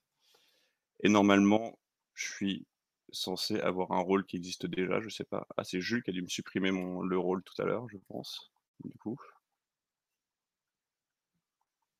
Ah, je, n'aime bien plus de rôle ici. Du coup, pareil, dans un souci de simplicité pour la présentation, ça va être un rôle admin qui va nous générer par défaut. Bon, J'en ai pas vraiment besoin vu que j'ai pas énormément de choses à créer côté, euh, côté back-end. Voilà, du coup, j'ai mon amplifier role qui ici. Euh, par défaut, la console va vous détecter automatiquement quel type de langage vous utilisez, quel type de projet est présent dans votre repo, pour vous proposer déjà euh, un ensemble de commandes de build afin de déployer votre application. Euh, je vais revenir après sur ce fichier-là, parce que vous allez pouvoir du coup l'améliorer et aussi pouvoir le récupérer en local pour, pourrez mettre vos propres informations. Pour le moment, je vais laisser celui par défaut. Il fait ça très bien, très bien tout seul. Et là, juste avec le fait d'avoir connecté du coup mon application sur mon backend, je reviens là-dessus. Là ici, on retrouve du coup ma branche master avec une pipeline ici qui est, qui est, directement générée. Du coup, j'ai pas eu besoin de setup, aucun outil, ni de, comme je vous ai montré le fichier tout à l'heure au niveau des settings, tout se fait complètement nativement. Et là, on voit que mon master est relié du coup avec mon backend de prod qui est ici. Il y a du coup une pipeline qui est en cours, qui met un peu de temps à se, faire. Il va d'abord du coup récupérer le, on peut voir les différents steps. Il va d'abord aller récupérer du coup les sources. Pour tous ceux qui sont familiers avec, les, avec le monde du CI/CD, c'est, vous allez retrouver du coup les composants habituels. On, va pouvoir jouer aussi une suite de tests et la partie deploy ainsi qu'une partie verify qui va juste vous permettre, j'y viendrai après, de vous présenter votre appli sous différents formats cette partie-là, du coup, complètement automatisée à partir du moment où on l'a plugué. Vous pouvez aussi, le temps que ça se déploie, pour vous montrer, vous pouvez aussi en fait améliorer, du coup, customiser, on va dire, cette pipeline au lieu de la laisser par défaut. Du coup, ce fichier-là, par exemple, de, de build, vous pouvez le récupérer, le télécharger pour l'éditer. Vous avez toute une documentation qui vous montre euh, toutes les possibilités que vous avez sur ce fichier-là pour y rajouter des tests, des répertoires en particulier. Si vous avez plusieurs projets au sein d'un seul, euh, repo, plusieurs front-end typiquement, comment le manipuler. Euh, l'option surtout une des plus intéressantes pour ceux qui vont manipuler la console, ça va être au niveau de votre image utilisée pour build votre application. Euh, j'imagine derrière l'image, elle est build, elle est générée, je, si je dis pas de conneries, sur euh, une instance qui aura un conteneur. Du coup, votre image va build dans ce conteneur-là. Du coup, il faut un environnement. Là, nous, en l'occurrence, du coup, c'était du React. On va avoir, l'environnement par défaut de React. Mais si vous aviez des particularités euh, en termes de, de besoin d'environnement pour build votre application, vous pouvez customiser un peu ici avec les packages par défaut l'image qui va être utilisée par défaut par Amplify par la pipeline pour builder votre application. Mais vous pouvez aussi euh, spécifier un, chemin vers votre registry du coup. Euh, imaginons vous avez développé une application qui a besoin de d'autres packages que ce qu'il y a là-dedans, des besoins très spécifiques, qui n'a pas besoin de tourner par exemple sur l'Amazon Linux d'AWS, de, bah, vous pouvez y générer votre propre image Docker via votre Dockerfile, faire un Docker build y mettre tout ce dont vous avez besoin et renseigner ici cette image-là pour que ce soit celle-ci qui soit utilisée durant le, build. Vous pouvez aussi euh, définir des webhooks. Ça, c'est plus pour faire des intégrations du coup avec des, euh, euh, des, services un peu externes. Du genre, si vous avez encore un, si vous avez un autre Jenkins, un projet qui tourne déjà sur un Jenkins, sur un GitLab ou sur n'importe quelle autre plateforme, ou même pas nécessairement d'ailleurs un CI/CD, mais si vous voulez trigger euh, votre build à partir du coup d'un service externe à Amazon et à, Amplify notamment, ben, vous pouvez ici du coup générer vos, webhooks qui vont trigger vos builds, qui vont du, coup start vos builds euh, selon votre besoin. Euh, un des trucs que je pourrais vous montrer après, du coup, ça va être de récupérer ce fichier-là. Je ah, ma pipeline, elle en est où Du coup, les pipelines vont mettre un peu de temps, c'est pour ça que je vais essayer de vous présenter et de vous préparer les environnements en attendant. Euh, Amplify dispose aussi, alors j'en ai pas rajouté parce que les pipelines sont déjà assez, euh, assez longues, mais du coup, vous pouvez rajouter du coup un phase de test qui sera présent si je récupère.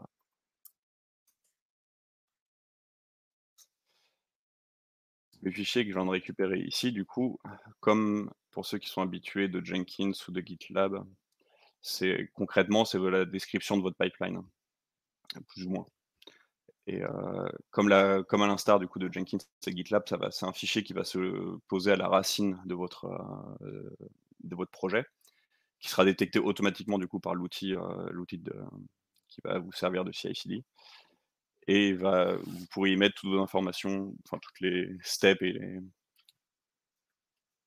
tous les steps et les, et les composants dont vous auriez besoin. Par exemple, là, je vais vous faire un test sur la. Je vais bientôt générer d'autres branches. Et je vais vous faire un test, par exemple, si euh, en fonction de sur quelle branche je suis actuellement, euh, par exemple, faire un comportement, un comportement un peu différent. Ce fichier-là, du coup, il, est important de le committer sur votre, euh, sur votre repo. Comme ça, vous pourrez après le récupérer enfin, nativement.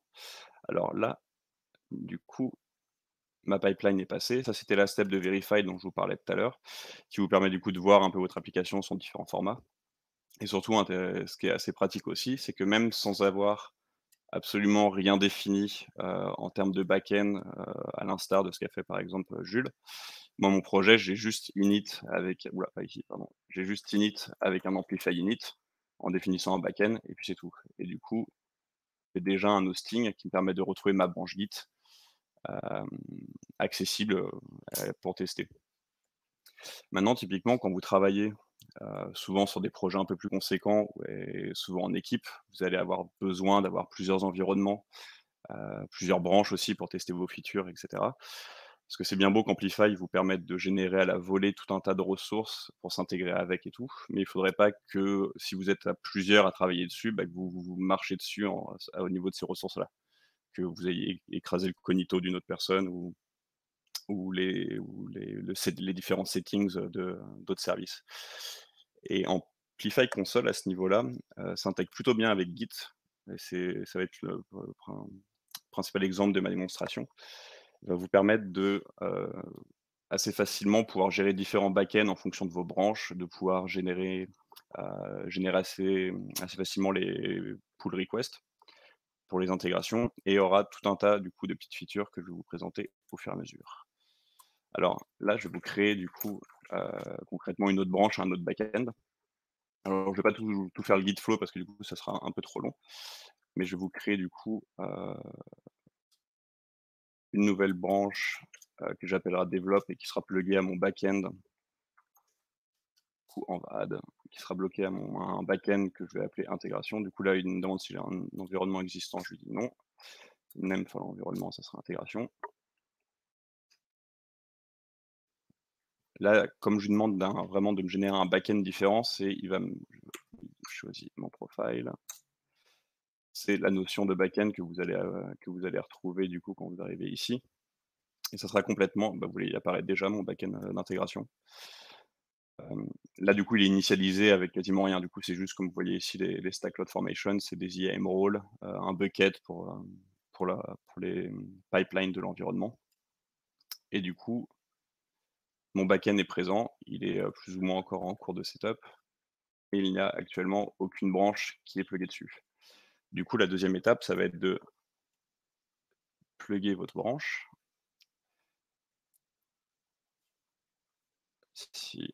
Il est fini. Hop, connect branch. Mais all branch already connected. Il va plugger ma. Où c'est qu'il arrive? Ah non, c'est parce que j'ai pas encore push, pardon. Euh, du coup, j'ai créé une nouvelle branche, pardon, qui est ici. On va l'ajouter avec les infos. backend. Hop. Alors j'espère que vous n'entendez pas trop le clavier quand je tape. Je vais un peu stream.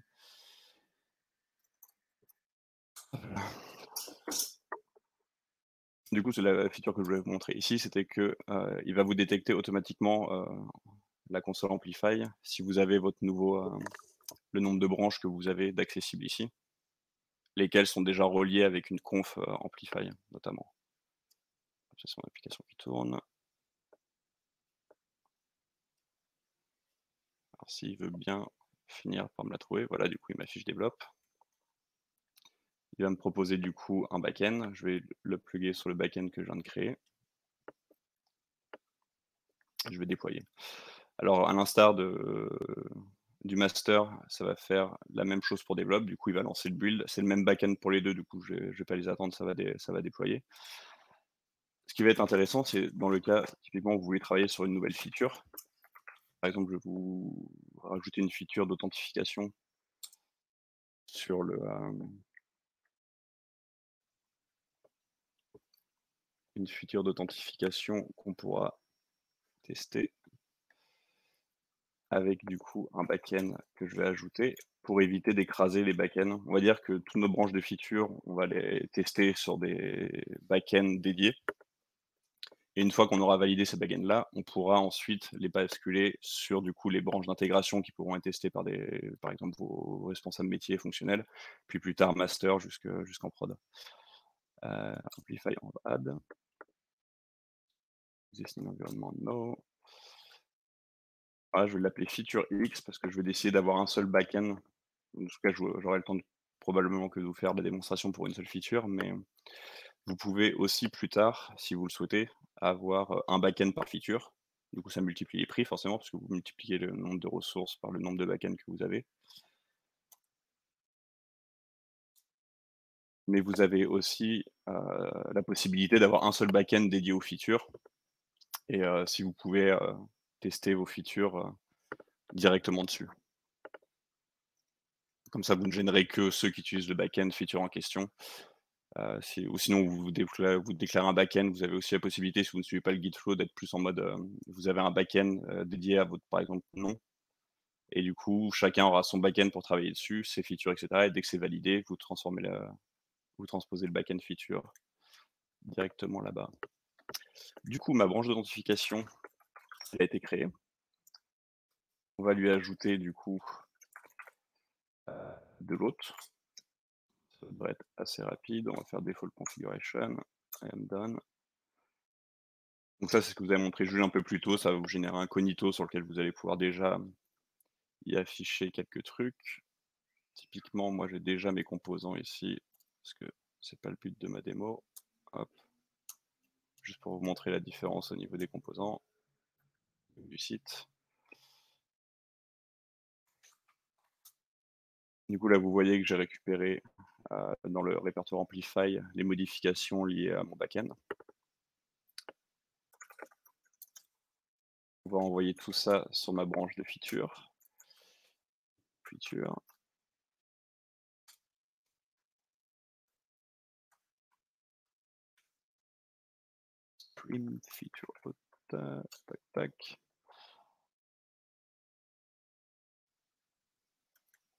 Du coup, ici, normalement, je suis censé avoir ma nouvelle feature, qui va être, voilà, on la voit ici. Euh, vous avez aussi la possibilité, comme euh, Amplify, ça, comme quasiment la totalité des services AWS, à quelques exceptions près, vous pouvez aussi directement les manipuler, euh, la console en CLI. Typiquement, si vous avez votre projet, comme j'avais déjà expliqué, alors que j'avais récupéré mon app ID, votre projet, comme j'ai déjà expliqué, qui a déjà une plateforme d'intégration quelconque, euh, ou sinon vous, êtes un fan de script et vous faites tout en shell ou en bash ou en PowerShell, et que vous aimez bien du coup scripter tous vos déploiements et euh, les intégrations, par exemple quand vous créez des euh, nouvelles branches des features ou des nouveaux projets. Vous pouvez du coup manipuler Amplify et Amplify Console directement via le CLI, sans passer du coup, là il y a une différence entre AWS Amplify et faire un Amplify Env, dans l'un, on utilise la librairie Amplify, dans l'autre, là, j'appelle directement les API Amplify d'AWS. Et là, du coup, ce que je vais faire, c'est juste par, via les API, faire la même chose que j'ai fait via la console pour reconnecter ma nouvelle feature. Sauf que je vais faire ça, du coup, en, en ligne de commande par API. J'ai juste besoin de récupérer mon backend. Là, ce que j'ai fait, c'est que j'ai listé les backends qui existaient. Euh, typiquement, on pourrait imaginer si on faisait ça dans un script que via une, euh, via une requête JQ, euh, vous récupériez le JSON pour récupérer juste le composant de, de l'ARN. Ici, du coup, ce qu'on va lui dire, c'est on va lui demander de créer une branche. La branche, ça va être littéralement le front-end que vous voyez au-dessus, et de l'attacher à un back-end en particulier qui s'appelle FeatureX. Euh, je me suis planté. Ah oui, j'ai pas updaté la ID. J'ai updaté la, la ID.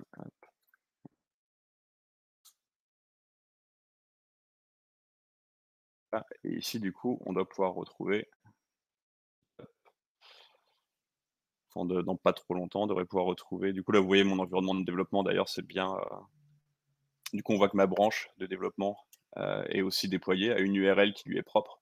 Du coup, ça permet vraiment facilement, enfin, quasiment sans rien faire, d'avoir déjà tous ces environnements accessibles euh, en, termes de, en termes de recettes. Là, ici, du coup, on devrait voir normalement ma branche de feature apparaître. Voilà, exactement. Du coup, là, on voit feature haute, elle est pluguée sur le backend FeatureX.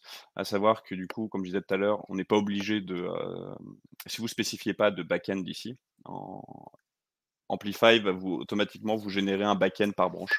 Du coup, vous pouvez complètement vraiment faire des, euh, des environnements complètement isolés en termes de, euh, en termes de branch management avec Git et Amplify du coup, sans du coup pouvoir tester vos features, les, ensuite les merger. Euh, du coup, par défaut, il ne gère pas le build et vous pouvez aussi euh, lancer le build du premier job. On regardera après, qui fait du coup un job type release. Et du coup, normalement, on aura la même euh, app ID. C'est mon contrôle V qui me, qui me joue des tours.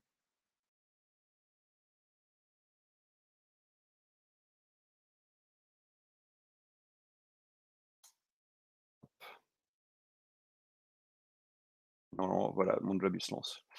tout se passe bien, à la fin, du coup, comme je vous ai dit, feature, là mon site apparaît pas encore, à l'inverse de ceci, et normalement je me retrouverai du coup avec l'écran de login de connexion que je vous avais montré, euh, montré un peu avant. en attendant, en attendant que ça build afin de vous montrer ça, ce que je peux vous faire, c'est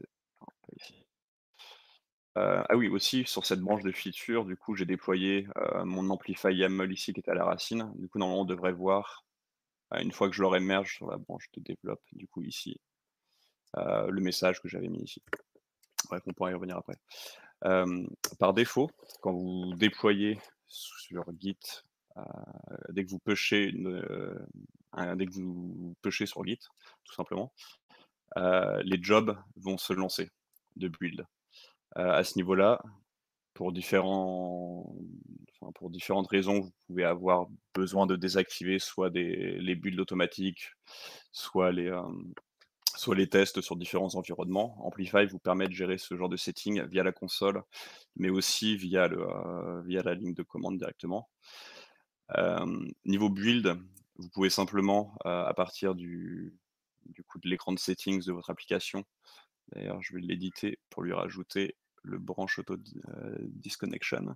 Vous avez le branche auto, detection qui vous permet aussi euh, d'automatiquement euh, faire ce que j'ai fait du coup juste avant, mais en, faisant du, en, fonction de la sémantique. C'est-à-dire que si vous setupez par exemple ici des patterns bien, bien spécifiques sur telle branche, telle branche, vous pouvez plugger automatiquement dès que vous créez une branche feature, par exemple, soit sur Git.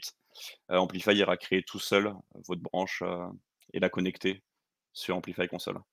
Moi, je vais juste faire le auto disconnection parce que j'en aurai besoin plus tard. Et du coup, par rapport au build, je vous disais, vous pouvez directement déconnecter une branche ici ou désactiver un auto build. Mais vous pouvez aussi, par exemple, si je switch actuellement, si je fais un Amplify statut, je dois être sur mon, environnement de feature. Il faut qu'il me rende la main. Allez, vous pouvez aussi via Amplify en fait euh, checkouter vos environnements pour switcher d'environnement. Par exemple, environnement d'intégration. Bon, il est un peu lent à le, faire, il faut qu'il récupère les, euh, les billes. Mais du coup, voilà, vous pouvez la même, à peu près avec la même syntaxe que Git, pouvoir switcher entre vos différents backends si vous devez update un backend puis en, puis en faire un autre, sans passer par la console ni rien. Vous pouvez assez facilement, du coup, il y a la ligne de commande, euh, gérer ça. Par exemple, toujours par rapport au build, maintenant que des,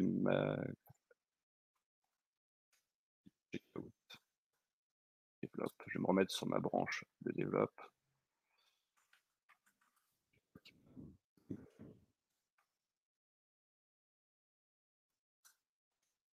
Modifier mon backend, je rappelle.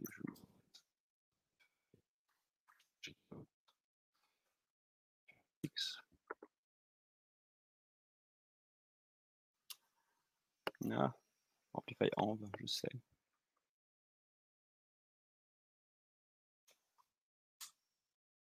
Donc, chez Feature X.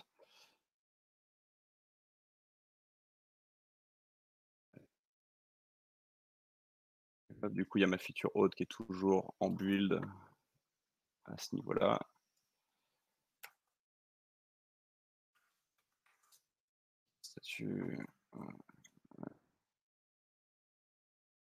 vous pouvez faire. Alors, je vais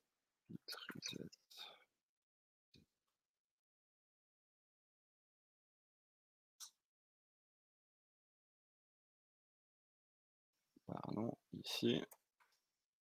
Voilà. sur la. Ce que vous pouvez faire directement depuis l'intégration du coup euh, avec Git, c'est que si par exemple vous publiez un, vous allez push sur votre repo, vous avez aussi la syntaxe à la fin de votre commentaire, si j'arrive à m'en sortir, de faire un skip, euh, CD. Normalement, euh, de faire un skip CD qui vous permettra, Amplify en fait, quand il va récupérer le commit ici, là c'est un auto-build parce qu'il va, mais quand il va récupérer le commit ici, s'il détecte que vous avez ce skip euh, au niveau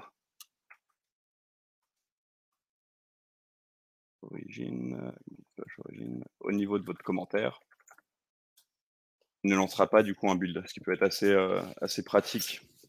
Euh, par exemple, sur vos environnements de, de, staging, si vous, avez, déjà tout validé, vous, vous faites simplement un, push, par exemple, d'un readme, d'une modification sur un readme, afin d'éviter du coup que ça, que ça retrigger, un commit. Vous avez aussi accès, du coup, je vous montrais tout à l'heure mon fichier, euh, vous avez accès à tout un tas d'environnements de variables que vous pouvez avoir directement ici, qui permettent de manager euh, directement depuis la console euh, le comportement d'Amplify. Typiquement, je parlais des tests tout à l'heure. Vous pouvez assez facilement, du coup, ici, il y a des variables prédéfinies que vous pouvez retrouver dans la doc, dans la doc d'Amplify, notamment user et disable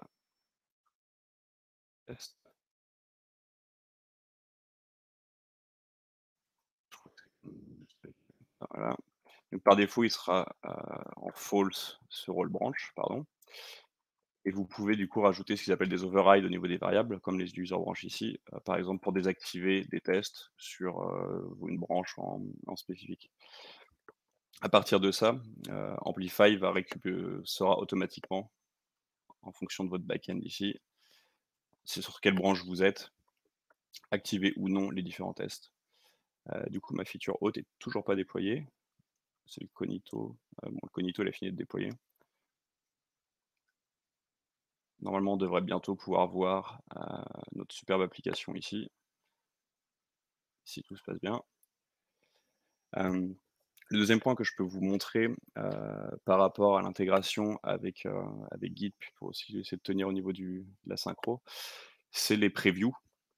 Euh, Amplify Console a une assez bonne euh, intégration au niveau, des, euh, au previews quand vous travaillez avec GitHub en termes de, repository. Je vais commencer à faire le setup le temps que ça déploie de l'autre côté pour vous montrer.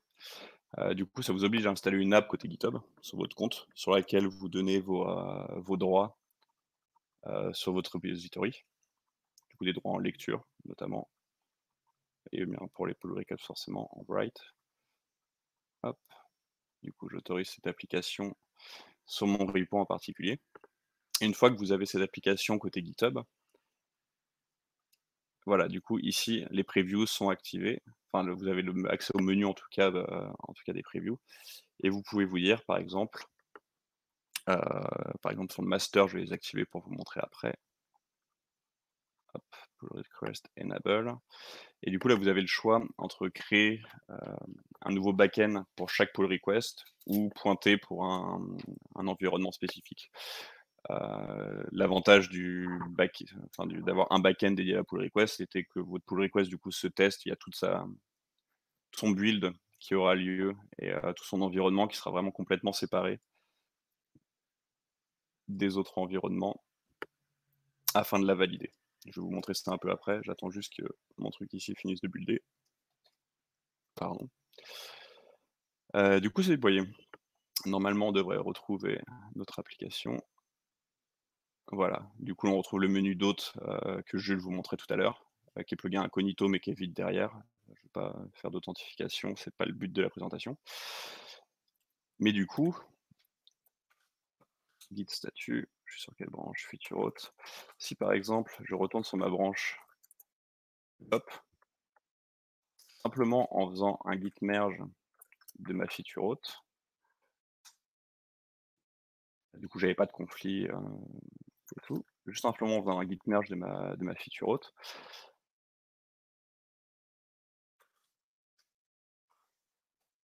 Je vais pouvoir push ça sur ma branche de. Et du coup, là, j'ai pas mis le euh, petit commentaire skip cd qu'il y avait tout à l'heure. Du coup, normalement, là, je viens de push ma branche à l'instant. Et du coup, mon développe va retourner en build. Automatiquement, j'actualise la page. Non, il ne le fait pas. Je suis sur développe pourtant.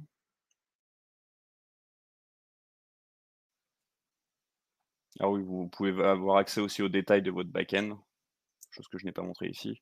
Euh, Amplify la console vous donne l'accès. Du coup, là, ici, on voit la différence entre les X, j'ai mon identification. INT, là, j'ai plus rien. Prod aussi, parce que du coup, on n'a encore rien déployé dessus. Euh, vous donne du coup le moyen de récupérer en local votre backend, mais vous pouvez aussi directement voir plus en détail les différentes, euh, par exemple, sur le projet qu'avait fait Jules tout à l'heure, on aurait retrouvé ici les différentes stacks qu'il avait déployées sur, euh, sur son projet. Euh, ne se build pas. Est-ce que ce serait développe que j'aurais déconnecté tout à l'heure hein, en build? Non, non, auto-build pourtant.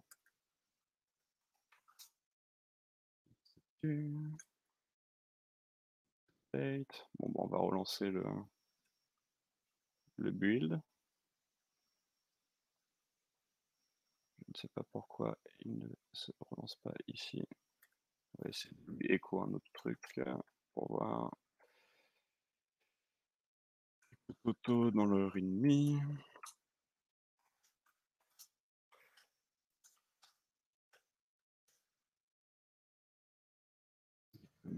trigger build.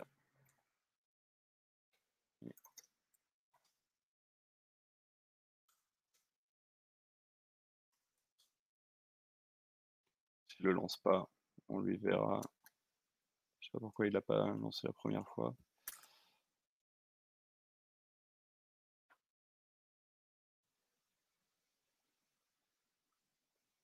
Voilà.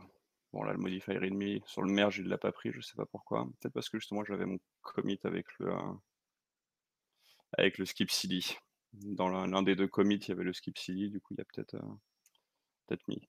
Du coup, là, on a beau avoir deux backends différents, que ce soit au niveau de feature et d'INT, le fait d'avoir la conf Amplify qui soit gérée au niveau de votre projet, ma feature haute, quand elle va être mergée sur la branche développe.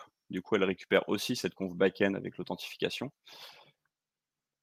Et du coup, sans avoir rien à faire, là, à la fin du rebuild, normalement, on aura, du coup notre branche de développe qui aura les nouvelles, qui aura l'authentification, donc l'authentification de mon appli.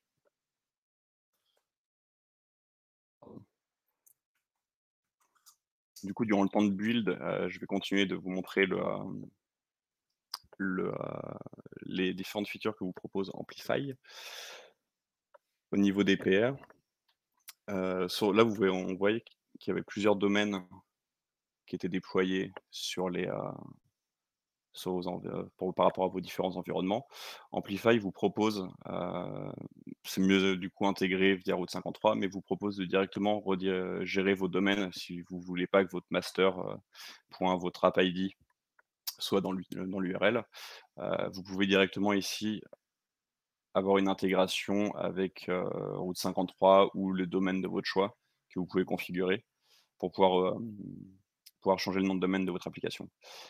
Il y a aussi du coup les access control qui vous permet par exemple assez facilement si pour X raison vous voulez pas que votre branche de feature que vous êtes en train de, sur laquelle vous êtes en train de travailler la rende accessible alors soit vous pouvez le rendre pour toutes les branches, soit sur, pour une branche en particulier, ne soit pas accessible, bah, vous pouvez bah, y mettre un basic hôte. par exemple, sur ma branche de feature, on va dire que je mets un password amplify in, save. Normalement, si on fait ça, ma branche de feature ici, en plus de, du coup de l'authentification, j'ai un basic code qui apparaît et qui me bloque, euh, qui me bloque l'accès qui me bloque l'accès. Du coup, ça vous pouvez le gérer depuis la console aussi. Euh, vous avez aussi accès à l'ensemble de vos access logs depuis la console ce qui peut être assez pratique si vous propose aussi directement de pouvoir les télécharger. Vous pouvez assez facilement du coup les exporter euh, via S3 pour derrière, par exemple, faire du, euh, du, euh, requêtage avec Athena, si vous voulez faire pour étudier les, le, le, le comportement sur votre site des utilisateurs, des accès qui sont, qui sont mis. Et vous pouvez aussi gérer tout un tas de règles de redirection que vous pouvez setup. Si vous voulez par exemple protéger certains, certains dossiers ou répertoires de votre site pour les rediriger vers d'autres répertoires, quand vous commencez notamment à avoir des, des applications assez, assez complexes, alors quand y a plusieurs applications et tout au même endroit, ça peut être assez pratique de pouvoir gérer toutes ces règles de rewrite assez nativement depuis, depuis Amplify. Vous pouvez aussi le faire du coup directement en format, format JSON. Euh, les notifications, du coup, vous permettent de recevoir des, le résultat de vos, de vos builds, de votre pipeline automatiquement généré par, euh, par Amplify. Du coup, lui, il est encore en build. Je vais vous montrer la partie, euh. Le timing est un peu short, je ne vais pas attendre que ça finisse le build. Je vais vous montrer la partie preview, parce qu'elle est assez intéressante. J'avais déjà fait le setup ici. Imaginons côté GitHub, je me fais une pull request, par exemple sur Develop. Euh, je me crée une pull request avec euh, mon master. Oui, c'est parfait. Avec mon master. Ici, en fait, au niveau de GitHub, euh, il détecte que tous les checks sont pas encore passés. Il détecte qu'on est plugué avec un autre service, du coup, de CI/CD. Et il nous propose Bon, alors j'ai pas de Normalement, vous verrez les tests, vous pourriez voir l'ensemble de vos tests ici qui, serait, euh, qui pourrait s'afficher au fur et à mesure de votre build et le résultat de votre build. Parce que là, pour le moment, je n'ai pas encore de test. Mais du coup, vous, voyez ici que euh, GitHub attend euh, du coup un service externe qui est du coup l'Amplify Console Web Preview. Et ici, directement, on va voir la notification côté de la console qu'on a du coup notre PR qui est en cours de, en cours de build. Si on peut aller dessus pour voir du coup, l'APR, on remarque qu'elle aura aussi un domaine pour être exposé. Du coup, là, comme, d'habitude, tant que le build n'est pas encore fini, euh, on n'accède pas à ça. Mais du coup, elle a son propre domaine qui est directement accessible à cette pull request. Du coup, avant même de pouvoir merger, une fois que vous avez validé une feature, un code, et que vous n'êtes pas sûr de vous, pour X raison, ou dans la part de votre process, vous voulez du coup euh, retester une fois que c'est mergé avant que le merge soit effectué souvent, ce genre de feature, c'est assez compliqué. J'ai fait beaucoup de création de CI, euh, de, pipeline, dans Jenkins notamment. Et avant d'avoir des intégrations et avec des plugins qui soient développés par la communauté, ça prend quand même pas mal de temps de mettre en place des, euh, pipelines qui vont euh, vous merger automatiquement des pull requests, qui vont vous générer l'environnement dédié à ces pull requests. Ça, c'est encore plus compliqué. C'était même pas possible avant pour la plupart des. Enfin, si on est dans le cloud. Et du coup, ici, Amplify, vous permet assez nativement, juste via cette application. Alors, ça fonctionne que sur GitHub, malheureusement, pour le moment. Mais euh, je ne doute pas que ça pourrait, euh, s'étendre à d'autres euh, à l'avenir. Amplify est encore jeune. Mais du coup, ça va vous gêner, juste en ayant installé cette application côté de GitHub et en ayant fait le setup que vous retrouvez un peu avant ici, il va vous générer directement tout un environnement, toute une pipeline, encore une fois, qui est fait automatiquement, mais aussi tout un environnement juste dédié à cette pull request qui fera l'exécution du coup de tous les tests, qui va, va la déployer. Vous pourrez du coup euh, la tester ici, une fois que ça sera déployé ici. Et une fois que ça sera fini, une fois que euh, côté GitHub, j'aurai validé euh, ma pull request, cet environnement sera automatiquement détruit. Alors ça risque de remettre encore un petit peu de temps. Les temps de build, hélas, pour une démonstration, sont pas trop évidents à gérer. Mais une fois que du coup que le. Alors la pull request n'apparaît pas ici, hein, mais une fois que la pull request sera validée à la fin de son build, euh, celle-ci, une fois que vous aurez validé le build, pourra disparaître. Et du coup, on aura, ça ira supprimer les ressources. Par exemple, dans le tas, normalement, je suis censé avoir du cognito, ça ira supprimer les ressources cognito en question. Cognito, vous pouvez voir ici. Il y a peut-être encore le cognito de Jules d'ailleurs s'il a, a, son application qui tourne. Ouais, voilà, du coup, on retrouve son, euh, son meetup qui est ici. Et là, on retrouve le cognito de nos trois environnements. De ma feature, parce que j'ai pas encore débranché ma branche feature. De ma pull request. Alors, ma pull request, peut-être pas encore, c'est quand il en est rendu. Et de développe, ouais, non, il n'est pas encore ma pull request. Mais de développe.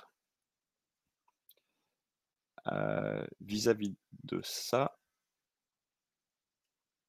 je, ah, une fois que vous avez imaginons la branche de feature, euh, je n'en ai plus besoin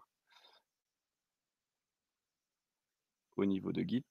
On va par exemple delete euh, branche de feature si on n'est pas dessus. Je vais laisser les temps, les temps de build se finir pour le, temps de la démo, je vous montrerai, on pourra revenir dessus. Du coup, c'est des questions, on peut recommencer à, échanger. Il n'y a pas tellement de questions pour le moment, je suis en train de regarder euh, en même temps. Euh, encore 5 minutes pour euh, terminer? Ouais, bah là c'est sur la c'est sur la fin là, c'est juste les euh, du coup les temps de build qui sont un peu longs. Et du coup typiquement là, j'essaye de delete ma, ma branche et via l'option que j'ai sélectionnée un peu plus tôt, si tout si tout se passe bien, il ira aussi du coup me delete pardon, pas ici. Il ira aussi me delete euh, ma branche de feature OTC. Alors attention, par contre, ça ne va pas delete le backend. Du coup, mon backend feature X, lui, sera toujours là. Mais vous pouvez aussi le, euh, supprimer via euh, Amplify. Il ne faut juste pas être sur le backend en question, ce qui est peut-être le cas. voilà, c'est ça. Amplify en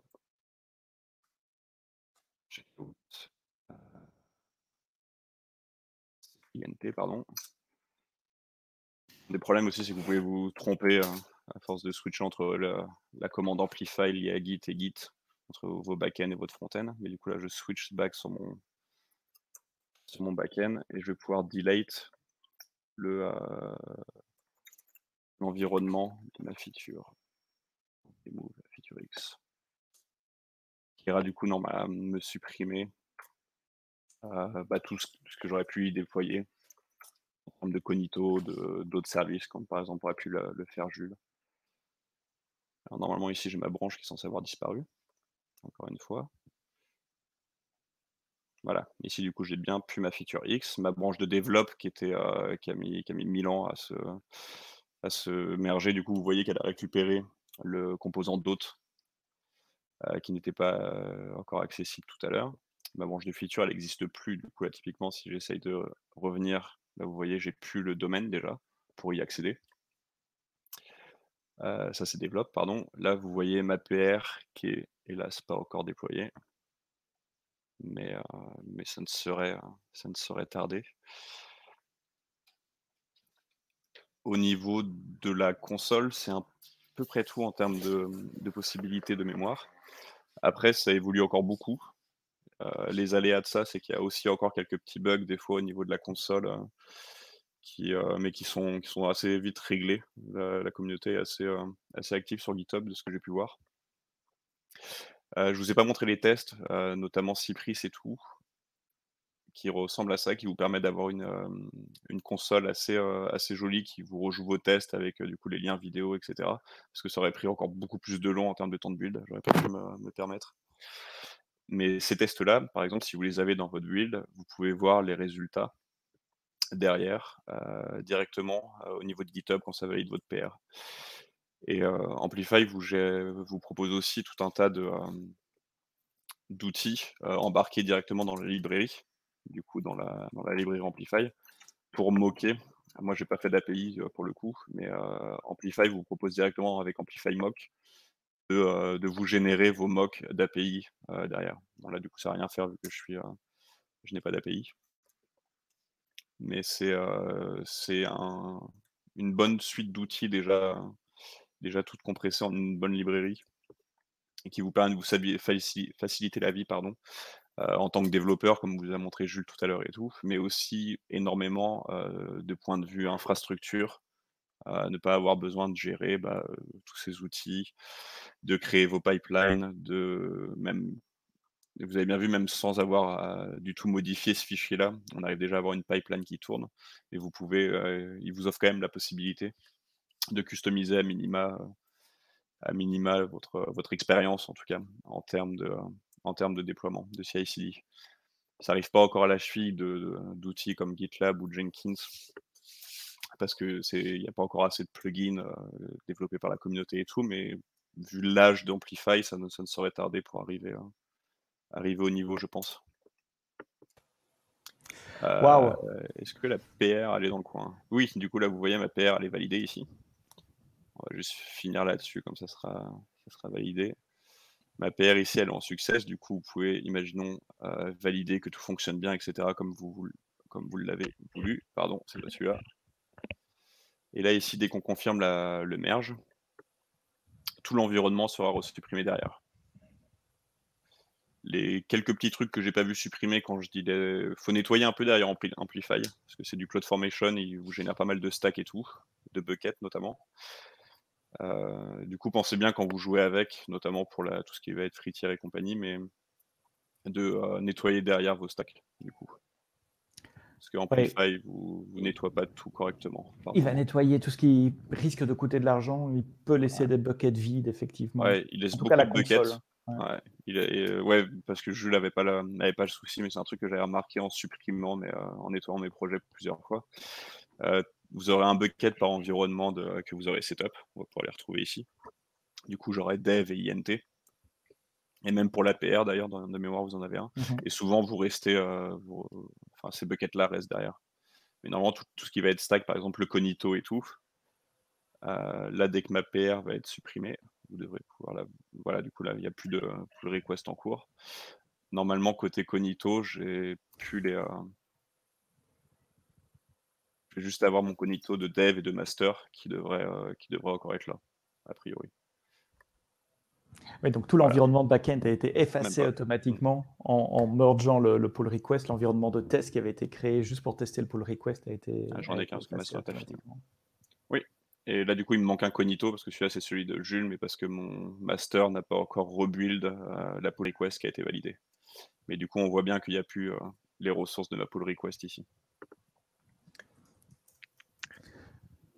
C'est donc on va pas besoin d'attendre le pas besoin d'attendre le, reste du, euh, combien ça coûte, monsieur ça, m'étonne que personne ait posé les questions dans le, dans le chat, mais en, général, quand on fait des démos comme ça, ça coûte combien? Euh, Je vais répondre pour la partie de Jules. Euh, je te laisse répondre si tu connais la réponse, sinon je, réponds, je répondrai aussi euh, sur la partie console. pour la partie de Jules, ça coûte que les services qu'on utilise derrière, donc AppSync, DynamoDB, etc. Et tous ces services ont un fritière. Donc AppSync, je crois que c'est les 250 premières 1000 requêtes par mois qui sont gratuites. DynamoDB, c'est les premiers 25 gigas. Euh, Lambda, on en avait parlé dans le chat, c'est le premier million d'invocations qui est gratuit. S3, c'est les 5 premiers gigas qui sont gratuits. Donc développer, en gros, ça coûte rien. On est d'accord là-dessus? On est d'accord. Même si euh, c'est Claude Rich qui paie, donc bon.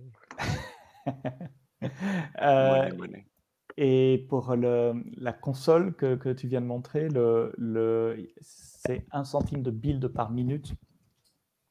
Au niveau des builds. Euh, pour, les builds. Et le hosting est au prix de, S3 avec donc les, les 5 premiers euh, gigas gratuits par mois. Les 1000 premières minutes de build sont gratuites tous les mois aussi. Donc pour faire 1000 minutes de build, il faut déjà, faut y aller. faut déjà y aller. Bah, c'est un projet qui, qui est assez intensif, genre beaucoup de branche, beaucoup de, membres d'équipe et tout, ça peut vite venir, j'imagine. Ah non, mais là, ça, là c'est un vrai projet, c'est normal. Mais pour, pour tester, pour découvrir, pour explorer, euh, ça, Après, le, le, piège, je pense, qu'on peut avoir avec la console, du coup, c'est d'avoir ces, ces, environnements qui se dédoublent de manière assez, euh, assez facilement. Et euh, si un jour, tu ne tu fais pas gaffe et que tu, dé, tu dédoubles des environnements qui ont toute une suite d'outils monumentales, bah, ça te dédouble ta facture quasiment. quoi. Oui, c'est-à-dire que tu passes de, de 0,05 centimes à, 0,1 ah, centime. Euh, mon screen, pardon. Tout ça, ça coûte moins cher qu'une qu'une tasse de café euh, au Starbucks du coin. Euh, si quelqu'un a encore des questions, c'était assez calme côté questions pendant la dernière demi-heure. prénom.nom at cloudrich.com. Pour vous deux, pour Jules et Sébastien, de droite et le cep de gauche. c'est aussi, euh, là c'est non, donc stormac at amazon.com. Ah, n'hésitez pas à nous envoyer euh, des mails, euh, des messages sur LinkedIn si vous avez des, questions sur ce qu'on vient de vous présenter. On fera un plaisir de vous, de vous répondre. Merci Jules et Sébastien d'avoir préparé cette démo. C'était assez impressionnant de voir tout ce qui est moyen de faire en, très peu de temps, en, deux fois une heure, moins, moins, moins d'une heure. Euh, merci à tous ceux qui sont restés euh, jusqu'au bout. Et ceux merci à Désolé de la, partie un peu longue sur la fin. Qui sont restés. Il est euh, et à très bientôt pour un, pour un prochain euh, meet-up euh, Claude Rich sur le, même canal ou en présentiel si, euh, si le présentiel réouvre dans les mois qui viennent. Merci. Bonne soirée. Bonne soirée à tous. Au revoir.